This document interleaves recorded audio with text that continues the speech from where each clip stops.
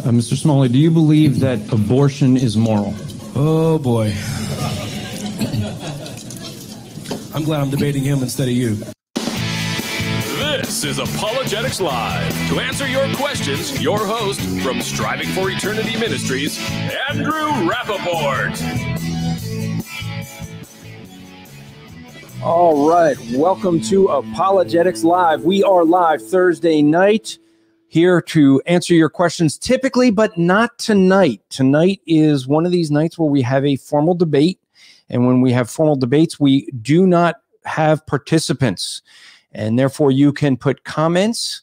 We will read the comments as they come in. And if there's time at the end, we will take your comments and ask them to the panels for discussion. So if you do have comments, just put them in. We'll I'll be monitoring for them.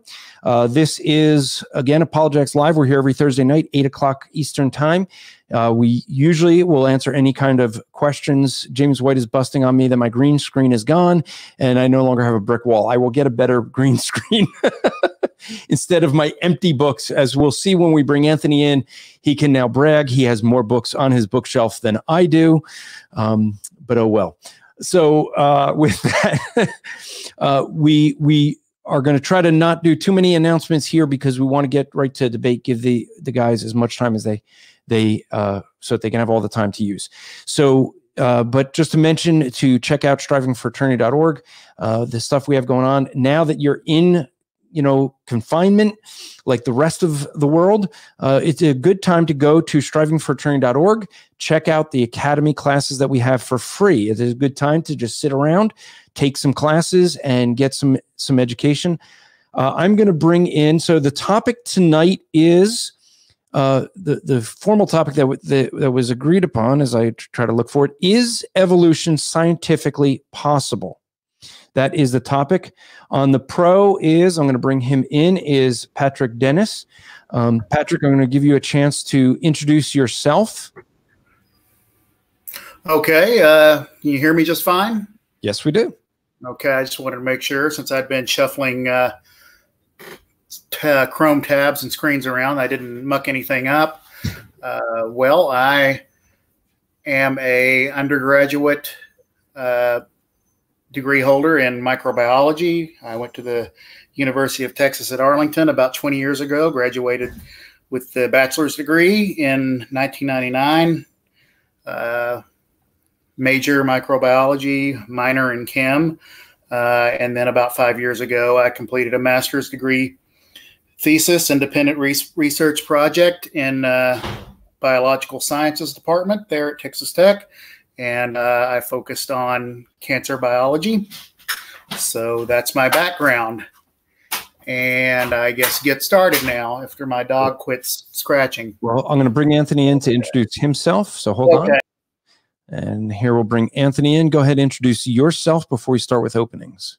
Hi, I'm Anthony Silvestro. For those of you who don't know me, um, my undergrad, I uh, was a dual major in math and chemistry, and went on to dental school. You're, you're not really a doctor. Wait a minute. I'm not a real doctor. I'm a dentist. yeah, That's You're correct. just a dentist. not a real doctor. That's okay. Um, and and uh, you know, I was an evolutionist for a year. The organized uh, about uh, 11 years ago now, and um, I can see absolutely clearly. And there's questions that I wish I would have asked years ago and didn't know to ask of, um, of any biology teacher I ever had, both in high school, college, and dental school. Okay, we are going to be concerned about your internet because it was breaking up a bit. You, if we, if it continues, you may have to turn yourself off camera, but make sure there's no one in your house like watching movies or trying to figure out how to, you know, watching YouTube videos on how to save red cardinals. All right, all right. So I'm going to, uh, I will bring in Patrick. And uh, the way we're going to do this, folks, is we're going to have, uh, for folks who are regulars here at Apologetics Live, you know how we do the, the debates. It's going to be a 10 minute opening. Patrick is on the pro, so he's going to start. He'll do a 10 minute opening. Anthony will do a 10 minute opening. Patrick will do a 15 minute cross examination, followed by Anthony with a 15 minute cross examination. Uh, sorry, rebuttal. Sorry, 15 minute rebuttals. Then they will have 20 minutes each for cross examinations. The way that we do the cross examinations, they will each get one minute to ask a question, and then they the opposing person has two minutes to answer the questions. Um, if a question is not answered, uh, the person can say that they didn't feel it was answered.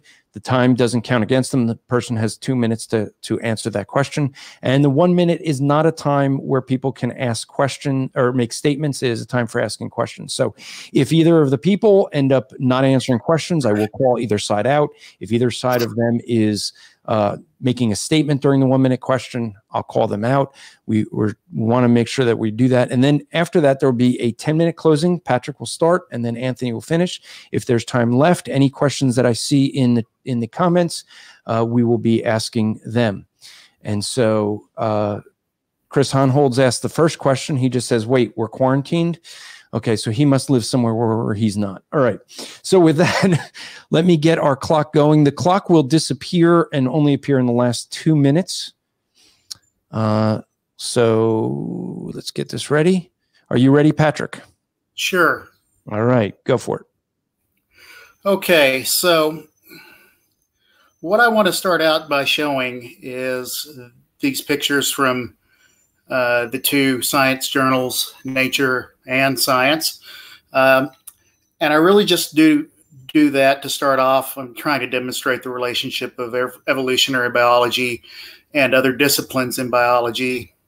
Uh, but, well, let me start over. little interruption there. I really just do this to uh, demonstrate that there are some aspects of biology that creationists are accepting of, such as biotechnology. Uh, the sequencing of the coelacanth genome uh, would be one example of biotechnology. Okay. And there are other aspects of biology that they aren't accepting of, such as insect phylogeny. Okay. That's basically a cover of a journal that's talking about a paper where they worked out some of the evolutionary relationships between different types of insects. But obviously, the study on the right relied heavily on the same sort of technology uh, on the as as sequencing and, and other things like that. So there's really no conflict within the Holder the wider broad field of biology between evolutionary biology and the techniques they use. They all synergize with one another.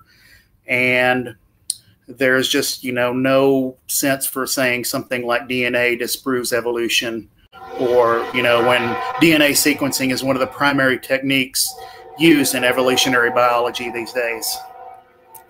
And I live next to the train tracks, so if you're having problems hearing me, let me know and I'll yell. Uh, what evolution is is really just the study of biodiversity.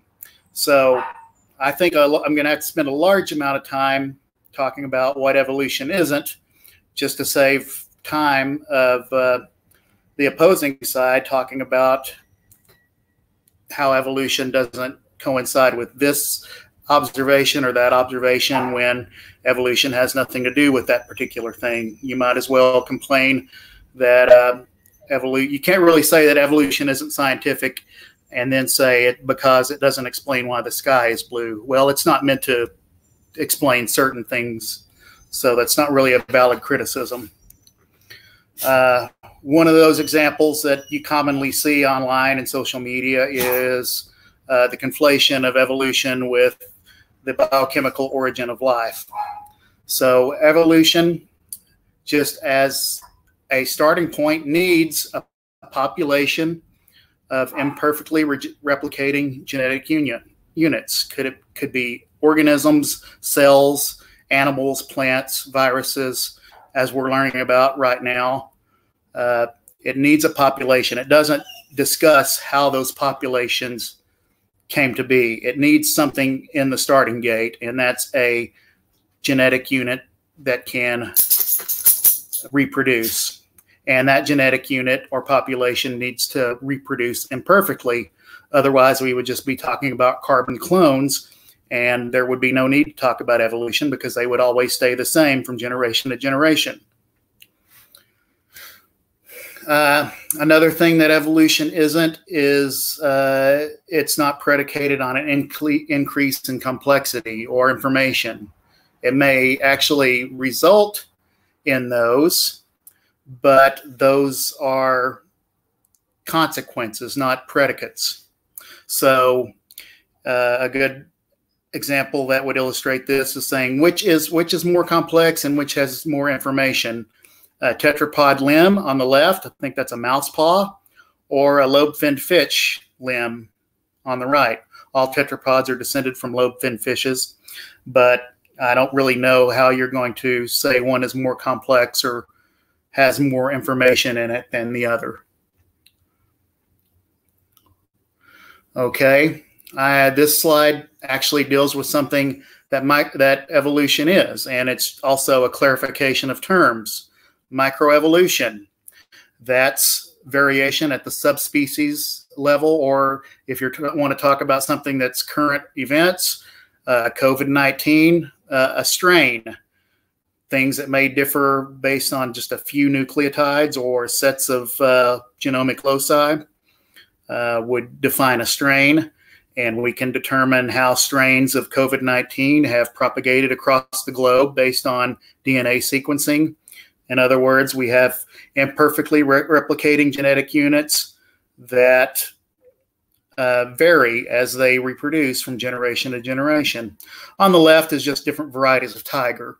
They're all the same species of tiger, they're just separated by uh, uh, ge geographic uh, locations. So they do start to acquire some of their own isolated traits through that isolation in, into separate gene pools.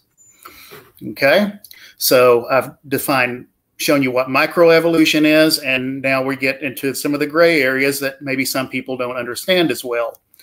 Okay, speciation is actually macroevolution. So you a lot of times you may talk think that macroevolution really only applies to say comparing mammals to reptiles to insects or whatever.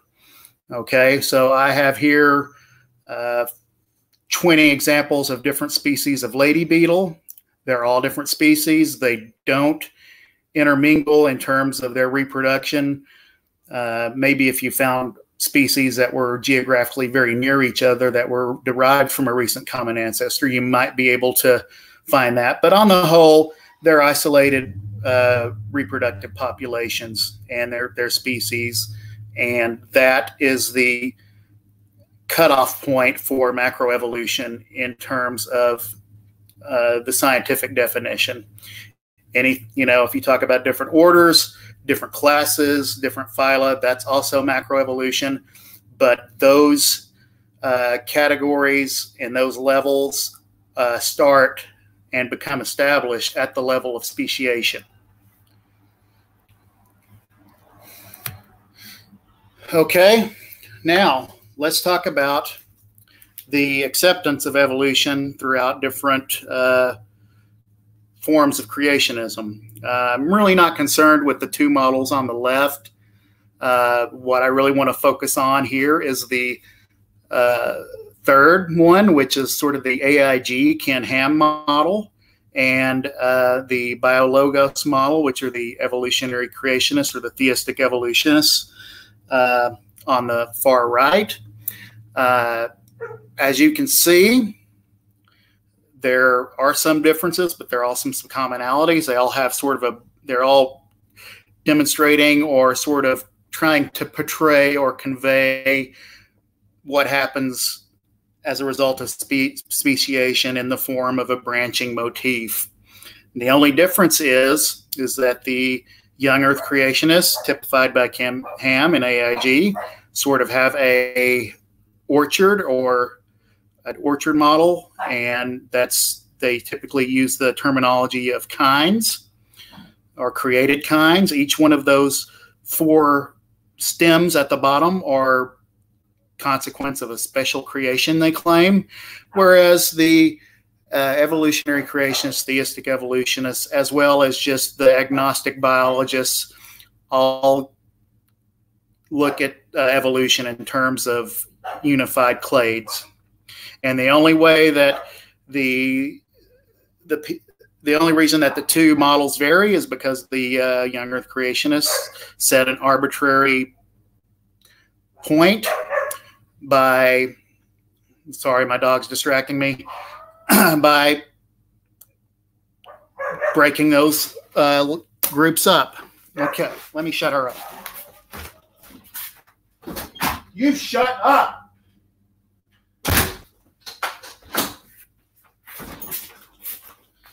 Okay, so uh, in other words, just to sum up, they have very, very similar uh, attributes. Okay, so let's look at the next slide. Why is it not appearing? Okay. Okay. So let me focus in on this particular slide. This is a slide that Ken Ham used in his debate with Bill Nye. And he put up his, you know, just like the previous slide, he's got four or uh, five or he's got six this time. The previous slide had four four uh, stems. This has six stems representing different types of animals that he thinks were created kinds. Uh, the the the fourth one is just uh, ceratopsians, prehistoric non-avian dinos, and he think he's using this graph or diagram to show that all subsequent ceratopsians are just derived from initially uh, created pair. Okay, uh, time. in Genesis, right? That's time. Pardon? That was time. Okay. That was 10 minutes. Wow. Yeah. Well, I've got a little bit left over for my closing. Okay. Yeah. I didn't rehearse that very well. Sorry. Not a problem. I, and I paused it when your dog was barking, so no worries with that. I, I didn't. I didn't count it against you. All right. Let me bring Dr. Silvestro in, and your clock starts when you're ready. You ready? I'm ready. All right, go. First of all, I want to thank Patrick for agreeing to be here today to debate this topic at hand. And I want to thank Andrew for being willing to host and moderate this debate for us. Second, my primary purpose is that I desire to see Patrick saved. Look, for both people who know me, I don't care for doing debates, um, but I do them in situations like this because my heart is to see the lost saved. Patrick, we're both sinners, meaning we've both broken God's laws and deserve just punishment and hell for eternity. But in God's grace, he sent his son to pay the penalty, died the death that we deserve. Through his death on the cross, burial, and resurrection, he paid that penalty in full for those who repent and believe the gospel. Molecules to man Evolution is just a way for people, such as myself at one time and such as yourself today, to suppress the truth about the Creator God that you'll be held accountable to without excuse when you die. Now, for the topic at hand today, is evolution scientifically possible? It makes sense that we define our terms right off the bat. So, Patrick, I, I, I commend you at, at starting to define some of the terms, um, although we have some disagreements here. So, if by evolution we mean a generic definition of change over time, Patrick and I would agree that generically change does happen over time. If by evolution we mean some type of change within a biblical kind, like what secular science tries to explain in scientific journals such as natural selection, adaptation, the like, we would also somewhat to mostly agree that those concepts can be scientific, at least to a degree. However, what we are debating today is whether molecules to man evolution, called macroevolution by many, is scientifically possible. And to that question, I give a resounding no. In order to lay out my argument, we need to define the term science. According to Webster's New Collegiate Dictionary, the, defi- the definition of science is knowledge attained through study or practice, or knowledge covering general truths of the operation of general laws, especially as obtained and tested through scientific method and concerned with the physical world. According to the Science Council, science is the pursuit and application of knowledge and understanding of the natural and social world following a systematic methodology based on evidence. So, from these two sources, as well as every other source that I've checked, science is defined by knowledge gained through the scientific method. Therefore, science knowledge is not gained through hypothetical ideas, philosophical musings, or even one's imagination. What then is the scientific method by which we can do real science? The scientific method consists of usually six steps, according to most places. Number one, make an observation and define purpose. Number two, construct hypotheses based off of that. Number three, test that hypothesis and collect data.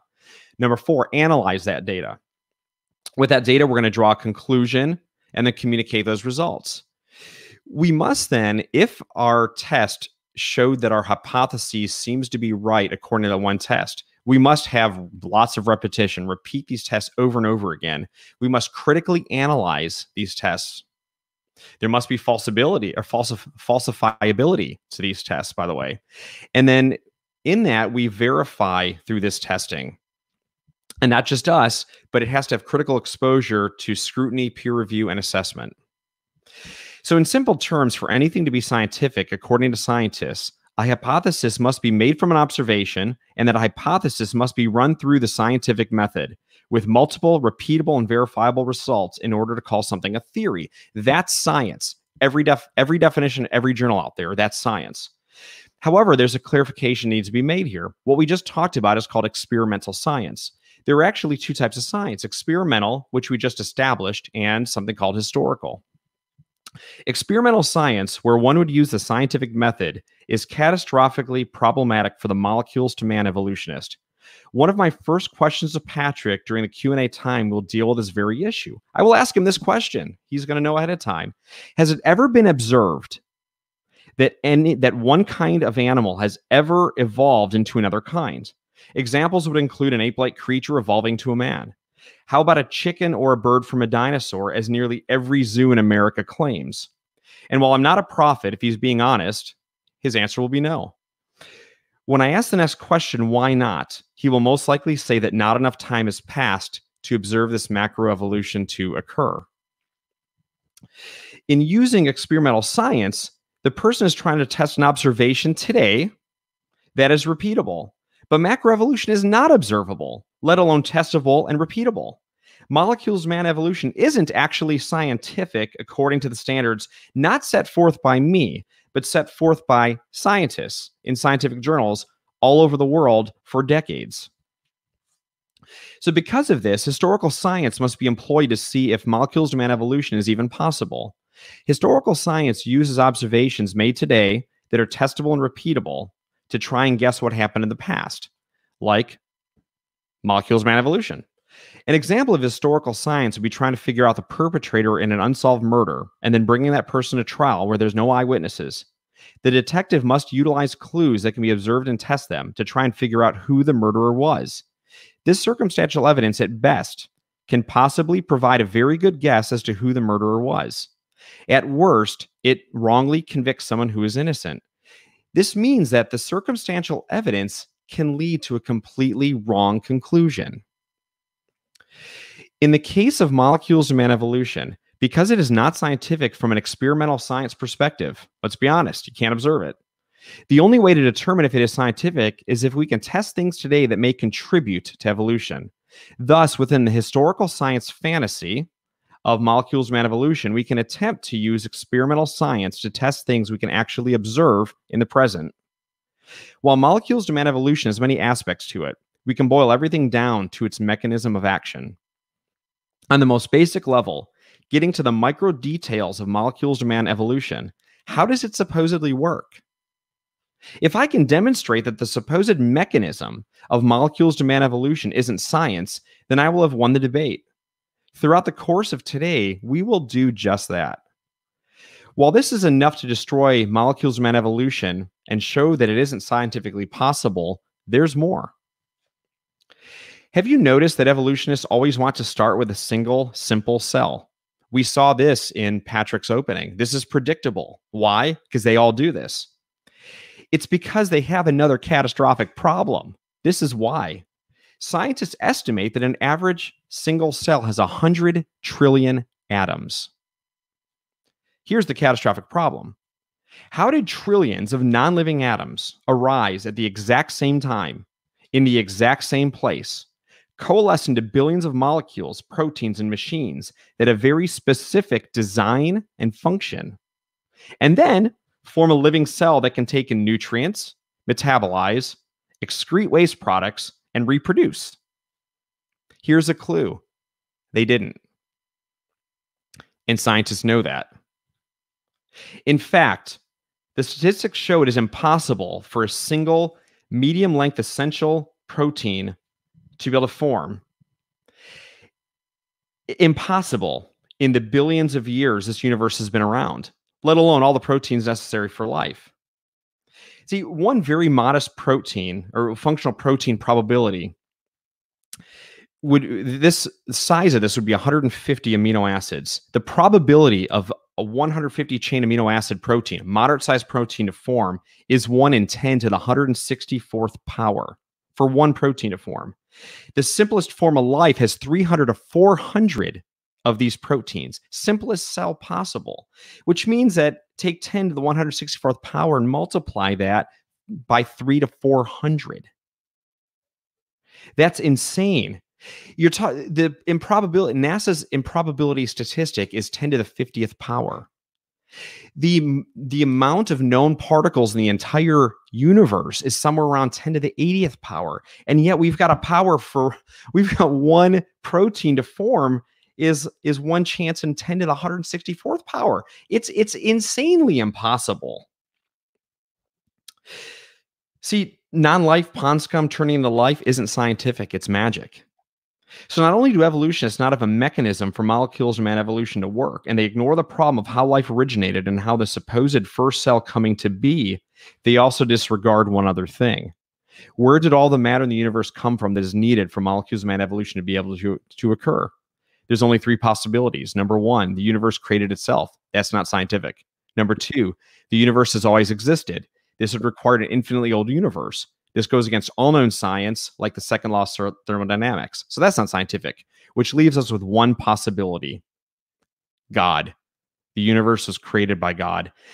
On every level, evolution's not scientific, has no viable mechanism, can't explain how the first cell came into being, and ignores how all the matter came into existence in the first place. Time. Thank you. All right. Put you back. All right. Let me reset the clock here, Patrick. And while I do, it'd be a time I could let you know that if you um, you had a couple more slides, did you want to use them in your rebuttal at all? Just so I know. Uh, well, no, because I can just refer back to them. Ones that are relevant, you've already seen. Yep. Just wanted to know whether to should do that. All right. I You let me appreciate, know. I appreciate the question, but uh, we'll try to do without it. Okay. Uh, 15 minutes when you're ready. Okay, so, well, you know what? Given that amount of time, I thought we were in the two minute back and forth. Can you just turn it back on? Yep. Uh, This is this is a rebuttal. So it really has to. It has does it have to specifically address something he said? And I hope we're not timing now because we're just trying No, to. I stopped, I stopped the clock. I'm not gonna. I'm not gonna run your time when we're asking a question of of format. No, we you, you could if you if you feel that there's some rebuttal you want to rebuttal to his his opening, but if you feel that your slides are gonna to help with Yeah. Okay. Let's just go on with that. Let's just act like uh, I'm finishing up, but they're still relevant to the rebuttal. So let's just put my slides back on Right. and go from there. you and if you feel like if you feel like I'm deviating from the format, just let me know, and I'll try to rephrase or re redirect my course. Okay. You ready? Okay, sure. Okay, so um, I knew molecules to man would come up. Uh, it's just something uh, maybe for a question and answer section coming up later. I, I defined evolution. It's an exploration, and examination of biodiversity. I told you what you need.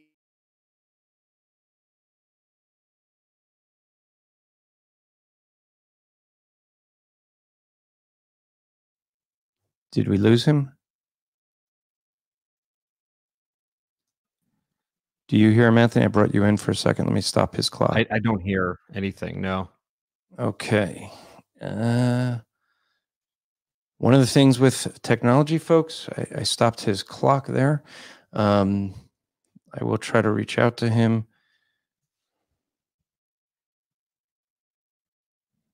So um, we do know that with everybody home watching internet everywhere or on the internet everywhere, some people have been noticing issues. Um, Oh, I'm sure there's problems within uh, oh, within dropped a lot of the guys out there, or a lot of the internet companies and people Yeah. bombard. Well, Okay, we'll wait, we're going to wait for him to come back in. Um, yeah, I, I will say, you know, that um, it, it has been a thing with everyone working from home and binging Netflix. Um, the the fact that uh, there hasn't been more problems with the internet uh, has actually been has has been good. I guess it shows that uh, you know some of the companies have really uh, done a good job. So I'll, I'll go back. Uh, this has nothing to do with the debate, so uh, I'll bring this up for your sake, Anthony, until we wait for him to come in. Jess says, as a dental assistant myself, I'd love to work alongside a dentist who loves God. What a good day it'd be at work. Uh, so I, I kind of described, you know, before you sold your practice, uh, that most of your staff were believers and and uh, basically every patient heard the gospel. Yeah, that's a lot of fun. Not to make Jess feel jealous or anything, you know. Yeah, because you know, it's one thing to find a dentist who's Christian, which is wonderful to have, but it's another, you know, when you're allowed to openly speak about. It. I know a lot of, I, I know a number of Christian dentists and doctors who um, keep it under their vest. they won't talk about it at all. So, So, Justin Pierce wants to know if it's or says it would be awesome if I got saved. Um, James Watkins is just surprised that I know what Netflix actually is. yeah, I am too, actually. Um, Jess says I couldn't imagine Jelly Belly. Uh, it's hard to find. Um, you know, some there was a question earlier. Uh, people were were finding it quite amusing with his dog there, um, but I know Donald Jack somewhere asked the question. Ah, here it is. He said, "What kind of dog do you have, Patrick?" And just in case Patrick didn't see it, he put "kind" then in all caps on a second one um, just to make sure he he saw. Okay, here he comes. He's back in. Cool. Okay. Technical difficulties. Okay, they have. I don't know what happened to my internet. Not a problem. It just Uh, pooped out. So, are you like on your phone now with a? Yeah, I had to switch to my uh, uh, phone's hotspot, and usually I play I play video games on that, so it's pretty reliable. Maybe Alright. even better than my house's internet connection. All right. Well, right now it looks like I don't know black screen. We don't see your picture anymore, but um, Uh, okay, well, I need to set that up. I did. I only got to where I could actually hear you guys and, and yeah. start. Now, for folks who don't know, you, you did say you know you've been quarantined and you didn't get a haircut. So, uh, well, there I am in all my glory. I are made my son sh- cut my hair. So if you want me to send him to your place, he can. You- no, dude, you just need to shave it at this point. All right. I- my wife won't let me. I would go complete bald, but Don, Donald Jacks would love it. All right, I stopped your clock, so we're gonna. I'm gonna actually reset your time there, Patrick. Okay, It- it- I think so are you seeing my screen now? um, I'm not. Wait, Okay, let me work on that a little bit more. Oh, I have to put the sh- actually hit the share button. Oop. and I- Okay, and then I have to select what I want to show too. Yeah. All right, gonna, Anthony, I'll put There you we go. stage. I will bring Patrick up there. Okay, so we're gonna start you over in time. Um, Okay. Up here, I do have the question still on screen. Daniel Jacks was asking, "What kind of dog do you have?" He highlighted the word "kind" for you. Uh, she's the yeah right. She right. is a uh, same species as a wolf, uh, but she is the Australian Shepherd variety. All right. Micro through, through micro variation and Right. breeding. Some someone actually wanted a hyper hypersensitive dog that uh, barks at everything. All right, you ready? You ready to start? Yep. Minutes. Yep. Okay, go. Okay, so let's just look back at the uh, little more informative version. This is the actual slide Ken Ham used in the uh, debate with Bill Nye. I can't remember, was that 2014, something like that. And he's got one particularly interesting example here. Uh, first, it's uh, Triceratops, and he has got some putative evolutionary relationships uh, drawn up there. I think I think the blue lines that cut across all of the uh, kinds are the uh, reduction in, in varieties brought about by uh, Noah's flood. And then obviously because Triceratops and Ceratopsians went extinct, uh, their lines don't go much further after Noah's flood. Uh, interestingly enough, of all of the Tricerat or Ceratopsian fossils we have, we have just this huge diversity that you can see on the right. Now, these aren't subspecies, they aren't uh, just variations of a single uh,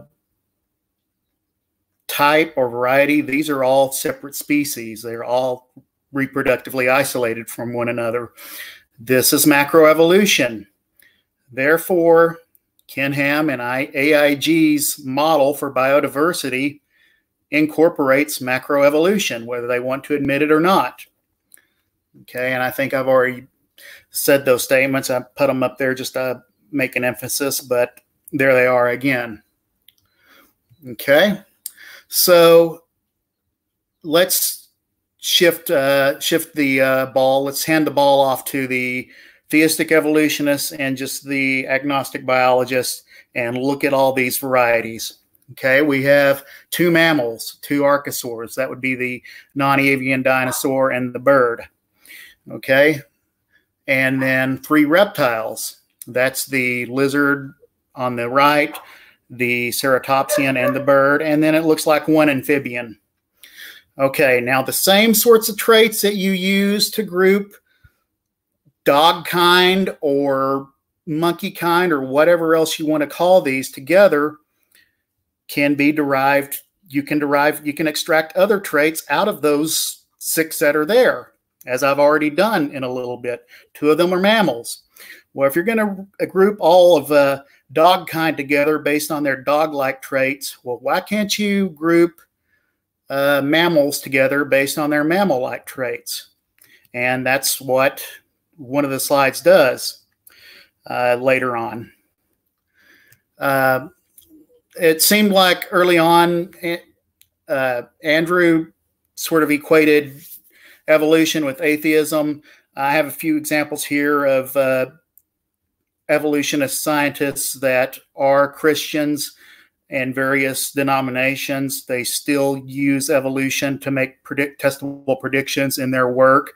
One of them is Mary Schweitzer. She's probably most familiar to uh, a lot of young earth creationists or creationists because she's on the forefront of the uh, soft tissue and fossils research. She has some very interesting quotes for creationists who, who misuse her work to make various uh, claims.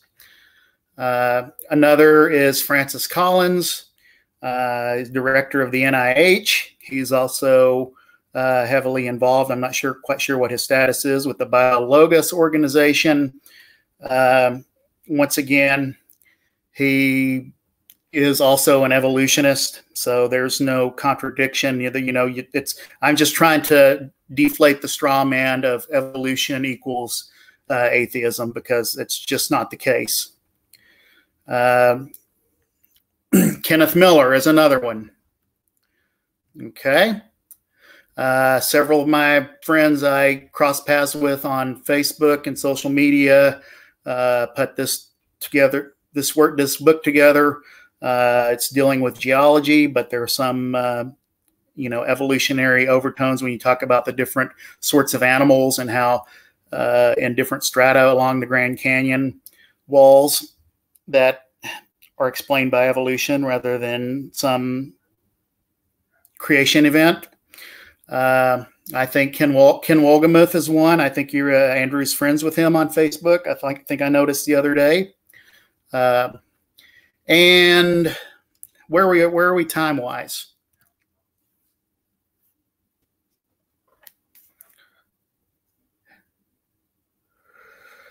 Good Lord.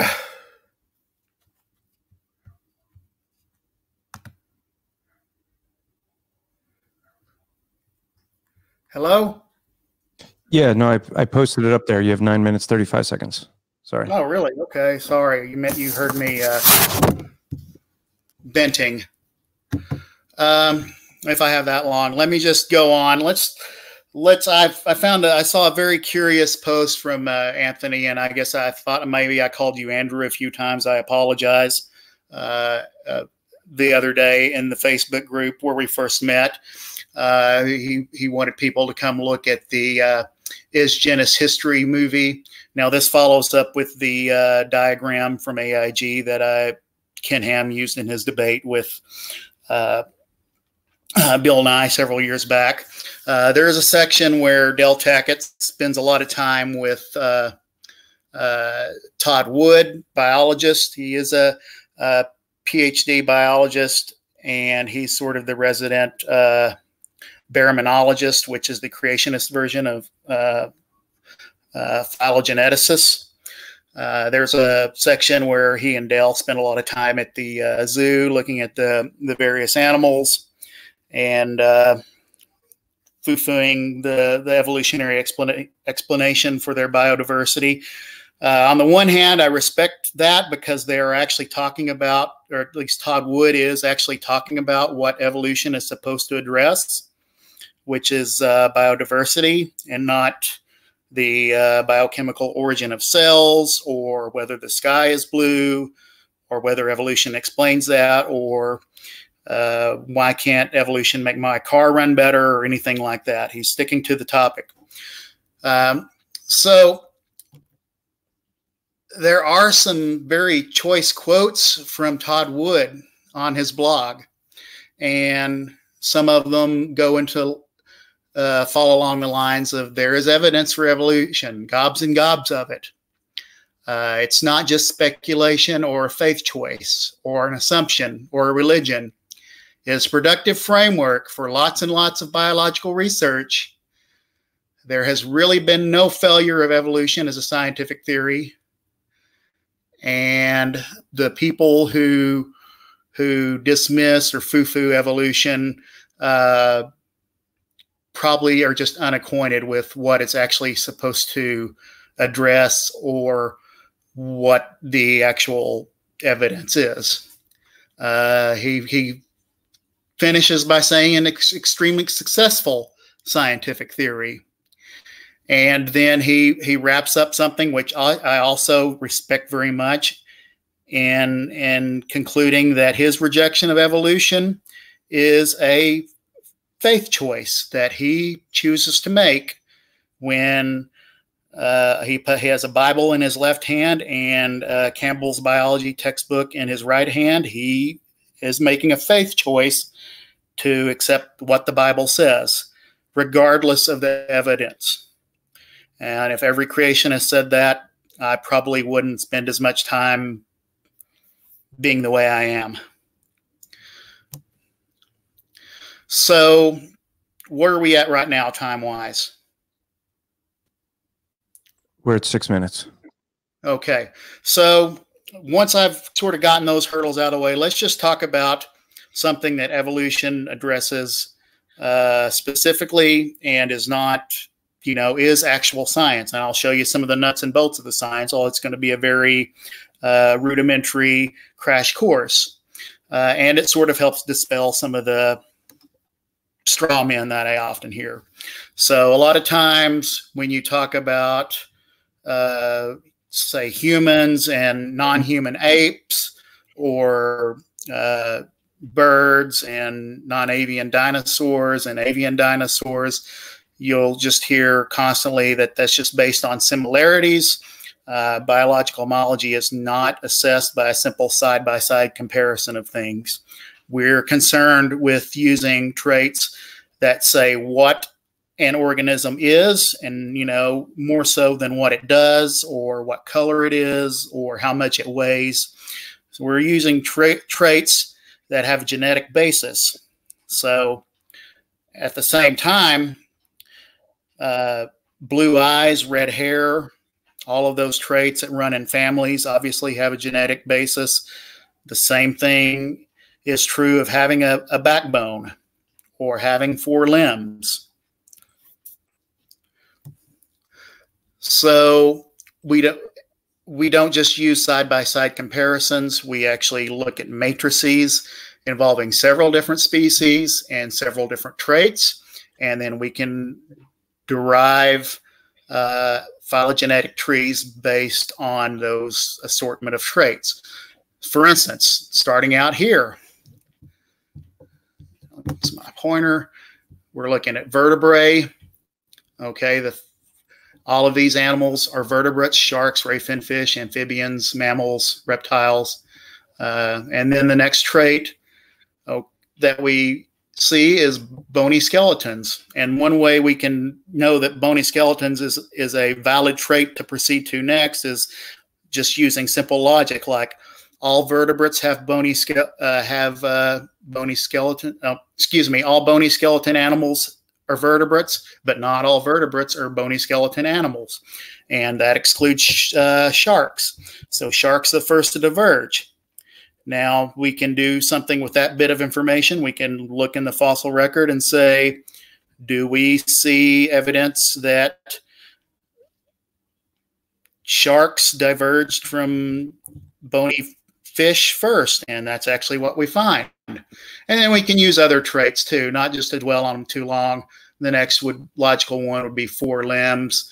Uh, the next is an amniotic egg. Uh, and we put we group all mammals and reptiles based as a group that all have amniotic eggs. They're all amniotes. You might say, hey, humans are mammals. Uh, they don't have eggs. Well, the uh, internal placenta is a just a shellless internal derivative of an egg. Uh, that's where the term amniocentesis comes from. We're looking at the the uh, vestigial amnion in the uh, uh, fetus when we do that sort of medical procedure. Uh, once we get these relationships organized and we're not just looking at them, we come up with a way of uh, reconciling and consolidating all of these groups that AIG claims are separate uh, created kinds. Uh, once again, I don't really understand the logic of saying all wolves are, are related to each other by common an- ancestry, or all dogs are, rather, or all apes, or whatever, just based on their qualities of having dog like qualities or ape like qualities and uh, ignoring all the other associations that you can make. They're all vertebrates. Uh, these are all tetrapods. They all have four limbs. Uh, everybody except the uh, frog is a amniote. So uh, there's no reason to ignore those uh, associations, which are testable just because of an arbitrary, ambiguous uh, definition of what a kind constitutes. So, you know, this is where some of those associations or groupings that creationists don't like come from. Uh, here's one that has a little bit of a biblical spin on it uh, just for fun. Snakes and diapsids there in the middle means reptile. Uh, but snakes are reptiles, obviously, and all reptiles are tetrapods or four limbed animals. So snakes are technically still four limbed animals, even though they don't have four limbs. They're just derived from an ancestor that did have four limbs. Uh, actually, snakes are just uh, like legless form of uh, lizard. They're they're clustered within the lizard clade. Uh, another one would be uh, birds and diapsids. Okay, technically, birds are reptiles based on this classification. You know, we learned Linnaean tex taxonomy in grade school. Uh, birds, mammals, amphibians, uh, reptiles, insects, so on but looking at their shared derived traits, uh, logically, we have to conclude that birds are reptiles. There's just no other way around it. That's time. And whales are tetrapods too. I will bring Anthony back in. I will reset your clock. You have 15 minutes when you're ready. Okay. Go for it. Okay. So as a Christian, I proclaim that we have a reliable eyewitness for how every living thing on this planet came to be by Creator God. Furthermore, God did not create a cell and then allowed evolution to take its course.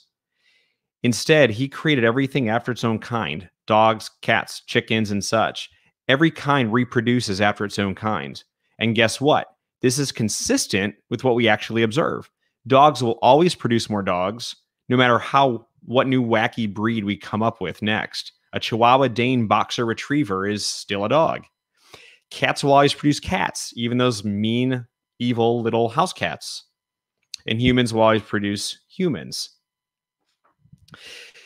When Patrick brought up the issue of some Christians that uh, have no problem with evolution, well, you know what? I, as a Christian, have a problem with professing Christians who believe evolution could have been used. Why? Because it goes directly against scripture. It's irreconcilable with scripture. So when a Christian says evolution's possible, we don't say, oh, look, there's a guy who found a way to make them both work. No, we say that guy is a compromiser because he's actually going against scripture to try to get evolution in millions of years stuck into the Bible. Now, when we talk about evolution equating to atheism, Patrick, this is why, is because evolution is not a mechanism of, of a creator God. This is of the creator God. This is this is a mechanism that is designed by people who hated God back in the day. This is a mechanism that does its best to explain away God or try to explain away God.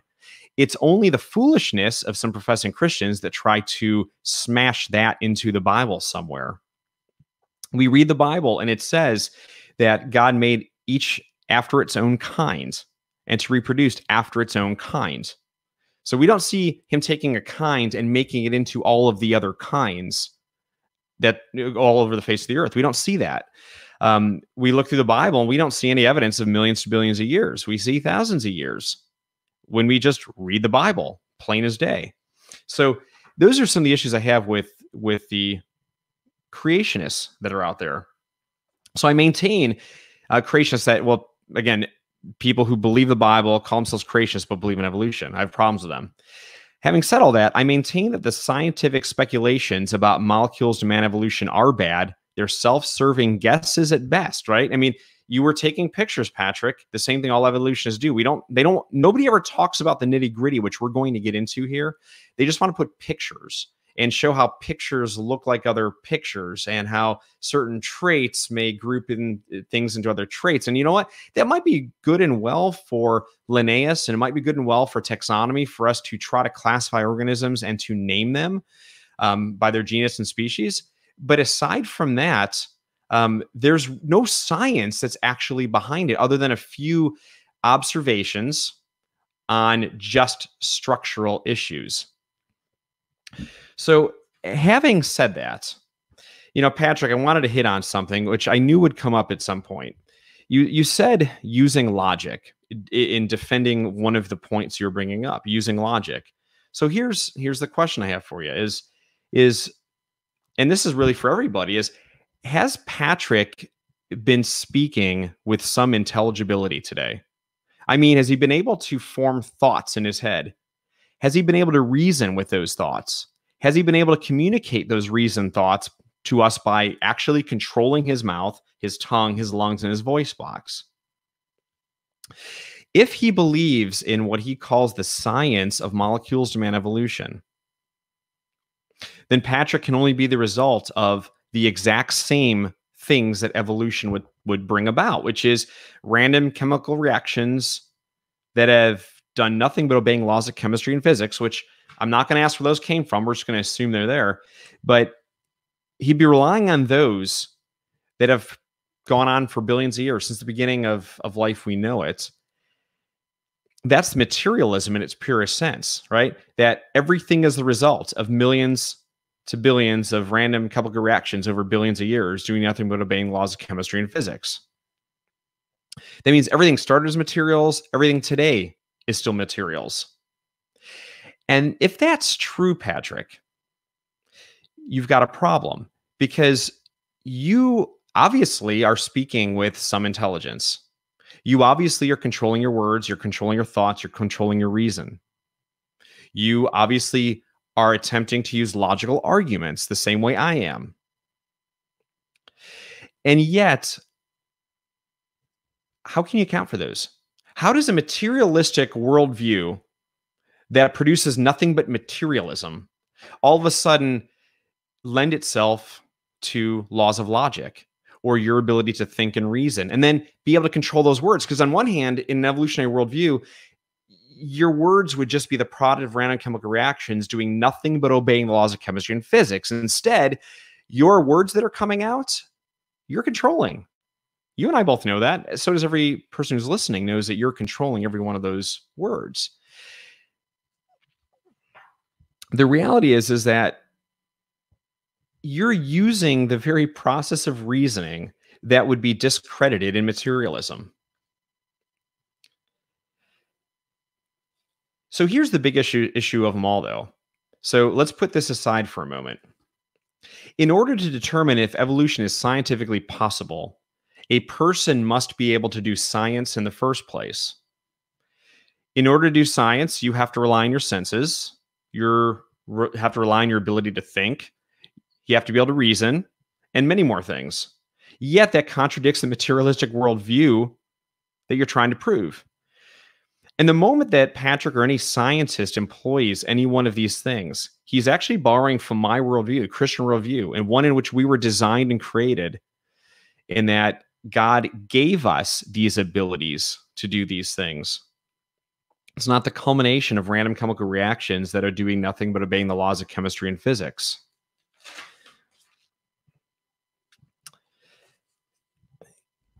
I think as uh, as I'm going to turn ship now a little bit, I want to rebut a few more of the things that that you had you, you had brought up, Patrick.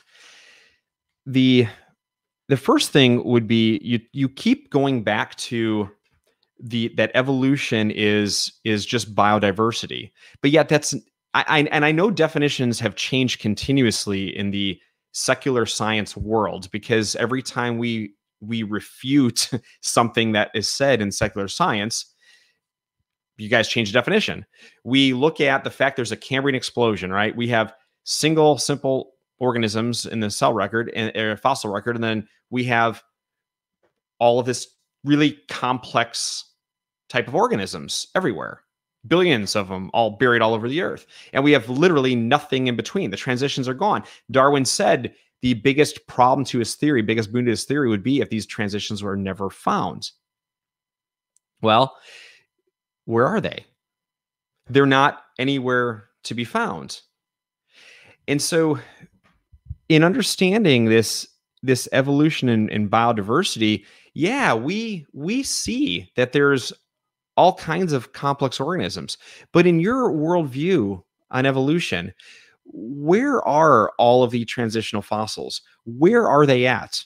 Why do we not see any of these transitions up? All we're seeing is pictures from you of all the animals that we know of today or that are in the fossil record that are already complex. We see nothing that leads up to any of these things. So yeah, evolution is is biodiversity, but that's different than than what has been a standard definition of evolution. We have to account for where did everything evolve from going back to the single simple cell that evolutionists claim was there all the way up to complex organisms we see today. And so this is really the issue that I want to focus on right now. In my opening, I had talked about the issue of where we we can't observe macroevolution happening right? All you're shooting is showing pictures. We can't observe these changes happening. The only changes we can see happening is when we look at antibiotic resistant bacteria. Well, guess what? They're still bacteria. That's not that's not macroevolution to any degree. We're not seeing a kind to another kind. Um, and I could bring up many other examples of this. So we can't test scientifically if evolution um, is possible because you can't observe it. So we have to, what do we have to test? We have to test the very mechanism. And so as I've talked to numerous, not just masters, but also PhD level and postdoc um, biologists, evolutionary biologists, genetic biologists, um, I've asked them all the same question. It's this what is the mechanism for evolution to supposedly work? Because you can throw all these terms at me natural selection, adaptation, uh, genetic drift, and blah, blah, blah, blah, all kinds of stuff. And the reality, they all rely upon mutations. Not just any mutations, you need mutations that increase functional genetic information over time. So when you said something, Patrick, about about information and and you know we always want to focus on the issue of complexity. Well, of course we do, because you're very, not just you, but the scientific community in, secular science says that all life evolved from that single cell. I want to know how did it happen? How did billions of bits of information get inserted into the genome? Where did it come from? And this is the thing is there are no observe there's no observable evidence of any mutation ever increasing functional genetic information to the genome. All we find mutations do is they recombine information that's already present or have a net loss of information. Usually it's both. That's the issue. And Patrick, look, you study cancer, right? I mean, and thank you for being a guy who is studying cancer. Cancer is, is horrible. Um, I would love to find find uh, i would love to be able to say that we found a cure for cancer. This is awesome. But what does cancer represent? It represents bad mutations that happen over and over again that completely kill off a body. Well we also have something else called genetic entropy. Why is it why is it that every successive generation I mean, look, you can look at you can look at secular scientific journals, not even creation journals. They talk about this idea of genetic entropy. So on one hand, evolution says that somehow information is being added to the genome as time goes on, right? But there's no evidence that. They've never observed a mutation that has ever increased information, functional genetic information in the genome. They've never observed this. But what they have observed is that genetic entropy occurs, meaning that 50 in humans alone, 50 to 100 new mutations, permanent negative mutations, net loss of information mutations are being introduced in every successive generation. Why? Why are scientists asking the questions about how to stop genetic entropy? Because at some point in the future, we're not going to be around anymore. We're going to be we're going to be such mutated messes we can't reproduce anymore. Why? It's it's because of this. There is no evidence on the DNA level, cellular level, however you want to call it. There is no evidence for any mechanism for evolution. All you have are pictures.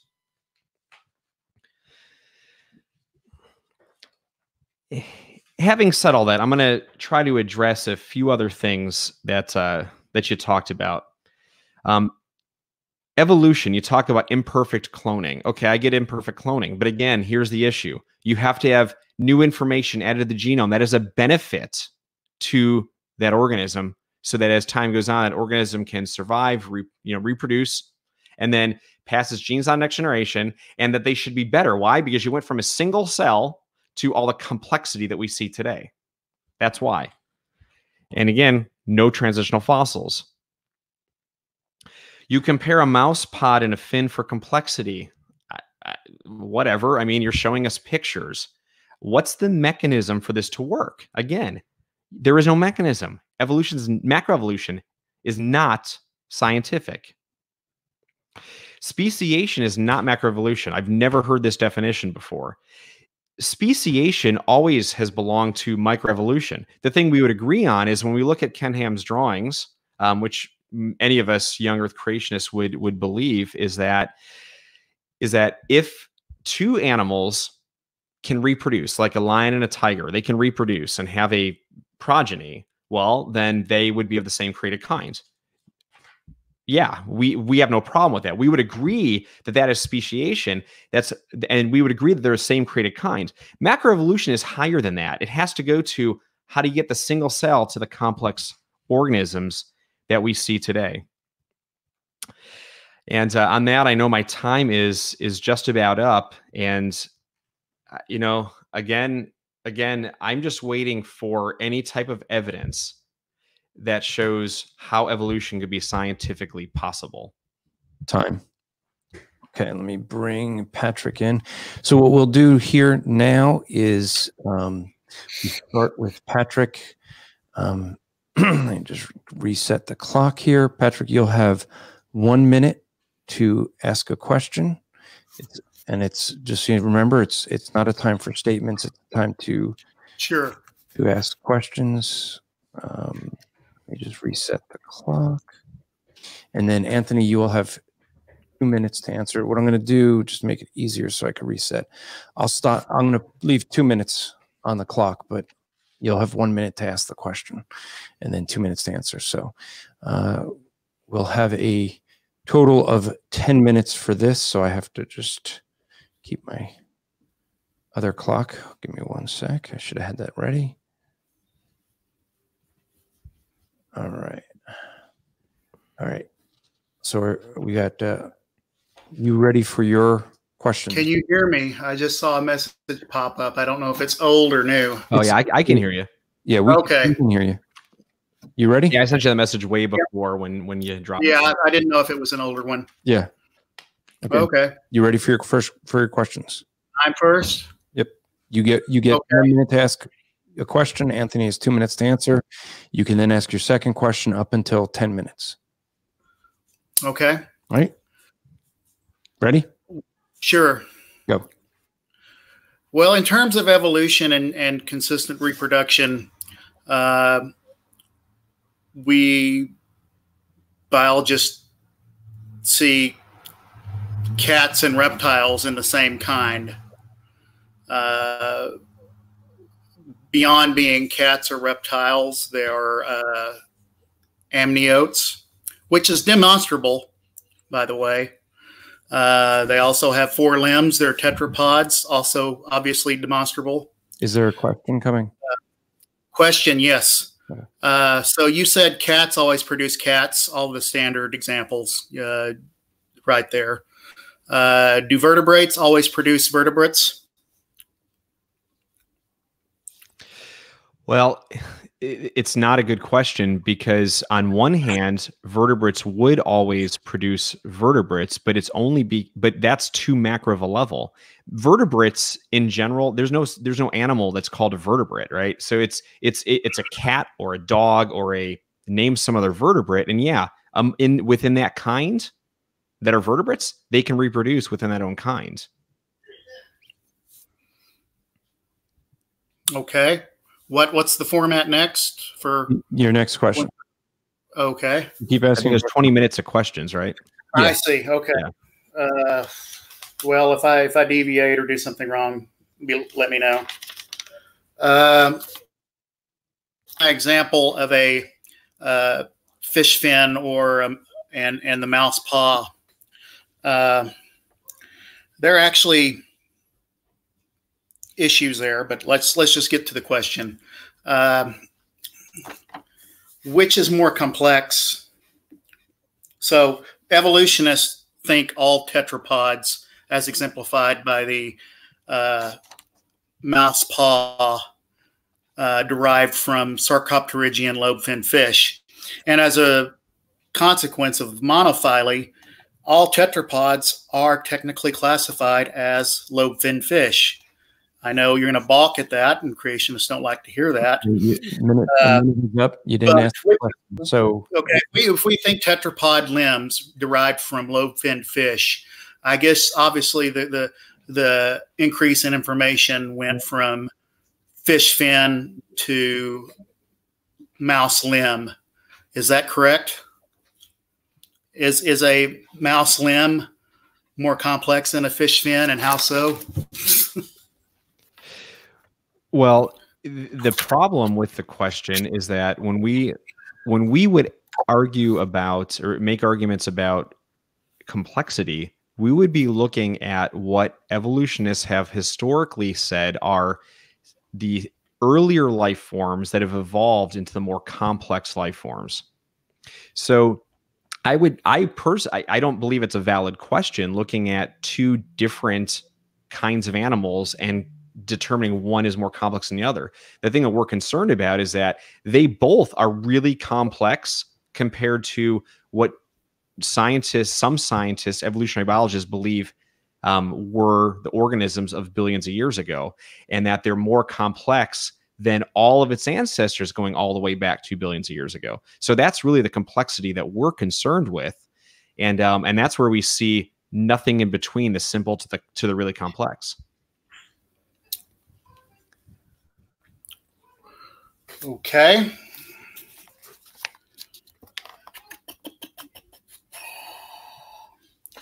Uh, what's the difference between philosophical naturalism and methodological naturalism? For our intents and purposes, um, nothing. That's not right. Not for my purposes.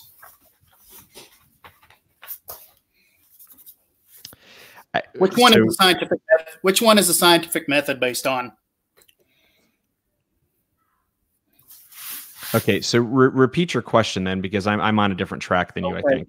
What's the difference between philosophical naturalism and methodological naturalism, and Okay. which one is the scientific method based on? Well, scientific method would be on your on the second one, not the first one. Okay. Which one does evolution exemplify? The first one. It's a it's a philosophical argument, not a scientific one. Okay.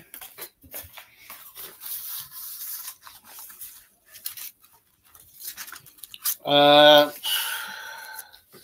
you also mentioned earlier uh, random chemical reactions obeying the laws of chemistry and physics. Uh, I would just like that's a little bit of contradiction. I think if you'll think about that for a second, uh, and I'd like give you a chance to clarify that. What do you need clarification on? What what's the question? How, how do random things obey laws? You said random chemical reactions obeying the laws of chemistry and physics. well, That doesn't. That's contradictory. Oh, oh yeah. Well, I so I would agree, and that's why I said that. It, that's why Okay. I clarified when I when I said Okay, this. that. Okay. random yeah random chemical reactions i said doing nothing but obeying laws of chemistry and physics and so in my in my um in in my um, statement was that i'm not even going to make you account for where these natural laws came from laws of chemistry and physics. We're just going to assume they're there even though in technically i shouldn't assume that they're there either in your worldview. I should i should Yeah. i should pin you down and say where are where do the natural laws come from? And where it is your ability to have all of these things you know your ability to reason and think and everything come from? Because otherwise the evolutionary worldview if you take it back far enough must start at a place that is just random chemical reactions in dirt in pond scum in something that somehow arose and it to the products that somehow formed into the first cell Okay. Is that over? yeah feel like we should be on uh, CBs or walkie talkies. Yeah. Maybe I should start, just say start saying 1040 when I'm done. Right. Um, okay, let's talk about uh, the Darwin quote. Did you are you aware that's a quote mine?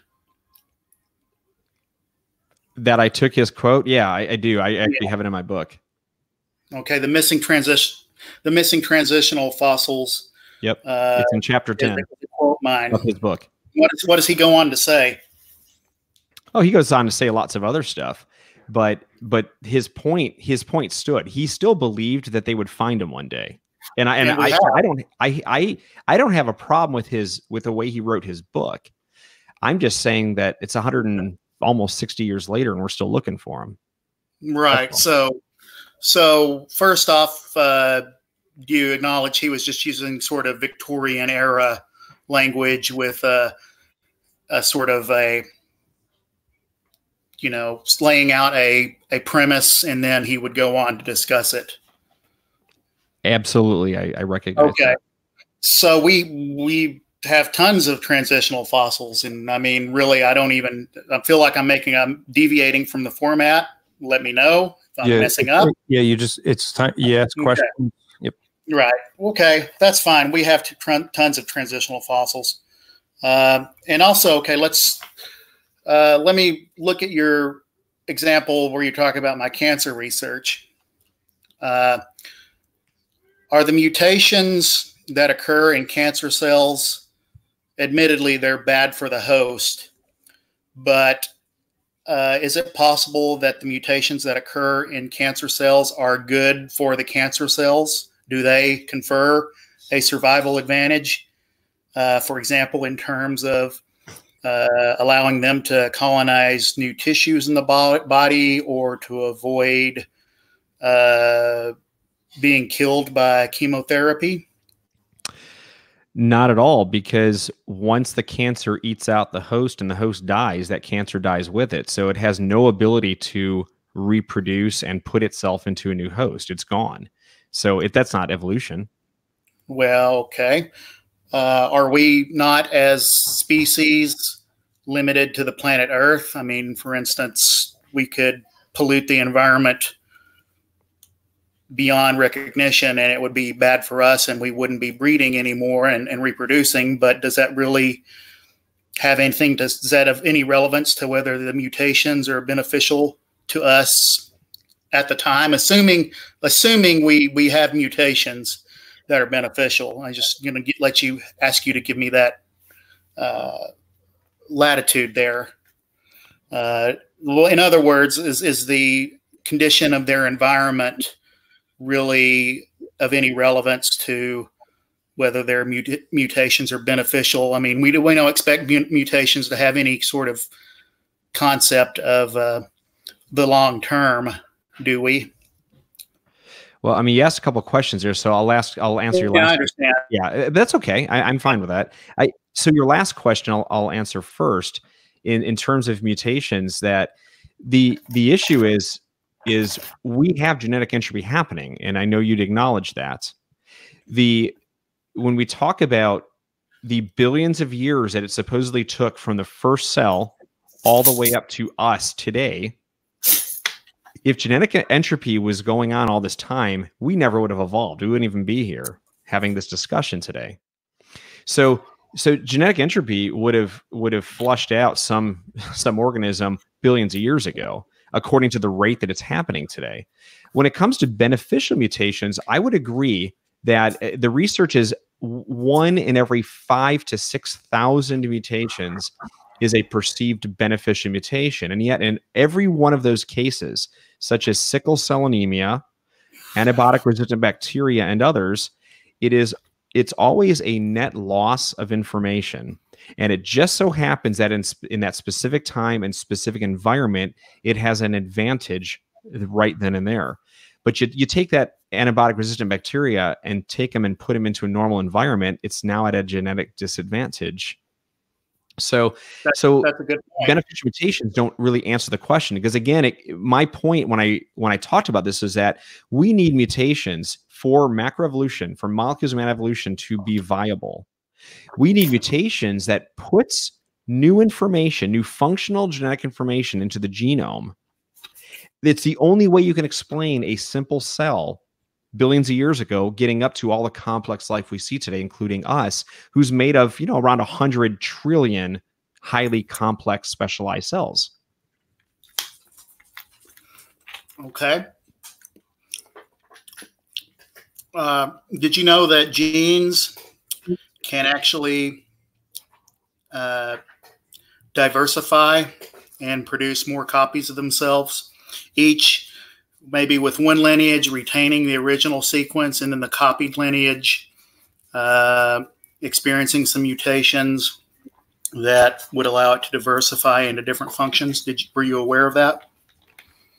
Um, I, I, am, and we'd be talking about the field um, uh, epigenetics. And here's here's the thing, and, and, we didn't have time to get into all of this today, um, and I won't be able to do this in the closing either. But I, I believe that, according to the Bible, that original pair of canines, the original pair of felines, the original pair of whatever parent um, organism, animal you talk about that came off Noah's Ark, they they had built into them not only massive amounts of genetic variability, but they also have built into them a genome that responds to the environment. There's some wonderful new studies that have been out in the last five to six years, wonderful research being done that talks about how sensors in the body And we see this all over the animal kingdom, plant kingdom, and whatnot, where sensors can not only cause an organism to move and do things, but it can also turn off and on switches in the genome to allow certain genes to be expressed or suppressed. So we see those things happening, but it's because of information already built in the genome.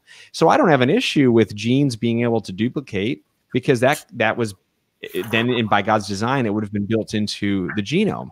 But even then, when you bring up the idea of mutations, mutations don't add new information. They again, they either recombine already existing information or it's a net loss of information. And even the times it recombines, it typically ends up being a negative to the organism. So it still doesn't answer the question at all uh, in terms of is evolution scientifically possible?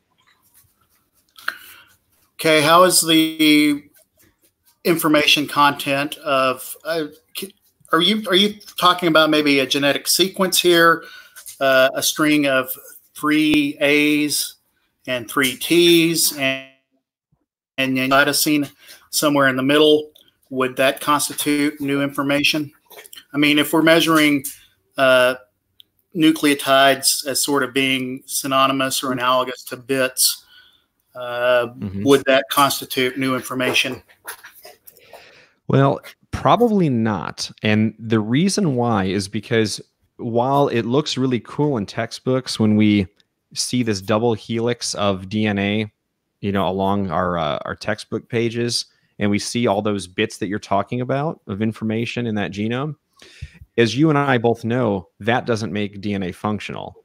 Functional DNA is when you have that double helix strand that's actually twisted and tied up into a three-dimensional shape. Mm-hmm. So that means that because it's it's a three-dimensional shape and it's kind of twisted up in different ways. Think of like um, for anybody out there listening, if you've got uh, a pair of earphones, right? You can take earphones and hold them up, you know, right in front of you. But if you jumble them together and throw them in a drawer, what happens? You go pick them up a week later and you've got to untangle them, right?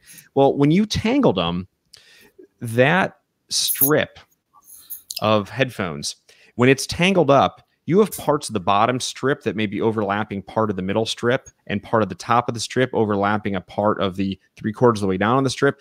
There's a three dimensional shape and structure to this, to which those genes turn off and on other genes. So it's actually it's it's actually far more complicated than just saying what I even said today, where we need mutations that increase functional genetic information. Not only do you need mutations that somehow increase functional genetic information into that double helix, into that genome, you also have to have it make sure that it doesn't mess up the when it's in its three-dimensional shape, mess up the off and on and regulator genes that come from other areas of the genome that just so happen to overlap that part of the genome when it's folded in this three-dimensional shape. So when you have all when you have all those factors put into place, and not only that, in genetics, we we call it four-dimensional because that three-dimensional structure can change shape, like in liver cells, depending on what type of toxin it has to excrete. It's so complex. Time. Okay. You you still have three minutes left for questions. Oh, okay. Uh, so information may or may not be calculated or measured on a nucleotide basis, like the number X number of nucleotides is greater than Y number of nucleotides, therefore it has more information. Is that correct or incorrect? Well, I think in a very, very, very simplistic view or simplistic model, you can say that, but it's not going to apply to every situation. Now, of course, I use this, what you're saying right now, I use this in my own book in talking about the differences between a chimpanzee genome versus a human, human genome and why it would have been impossible for all of those changes to occur um, between a human and, or I'm sorry, between not a chimpanzee, but you know, it would common be our common ancestor. But okay. using a chimpanzee genome, we can still get an idea with how vast the differences are. And we're talking hundreds of millions of base pair differences. So I use that as an example in my book simplistically. And I can demonstrate how evolution is not scientifically possible in given amount of time for that, let alone the fact that your your example and what I'm talking about here it's it's that's way too simplified because of the fact that genomes are folded into three-dimensional shape with ability to regulate what itself, and the ability to actually change shape in certain circumstances. Like I said, liver cells when they're when they're trying to get rid of toxins. You see, you see this, you see thing, you see these uh, the genome being able to fold in different ways. I mean, it's it's incredible. Again, all by design by God, um, not from randomness over billions of years. Okay, Okay, we so have time for one more question. One minute left, so I'm going to try to try to boil everything down here. Sorry, I didn't mean to talk over you. Were you finished? Oh, I'm good. Yeah, go ahead. Okay, so uh, you don't think evolution is scientifically possible because the only proposed mechanism is is mutations for generating genetic diversity, uh, and you tack on the need for increasing complexity via mutations, which you think is impossible. Am I being fair up to this point? Yes, you are. Okay.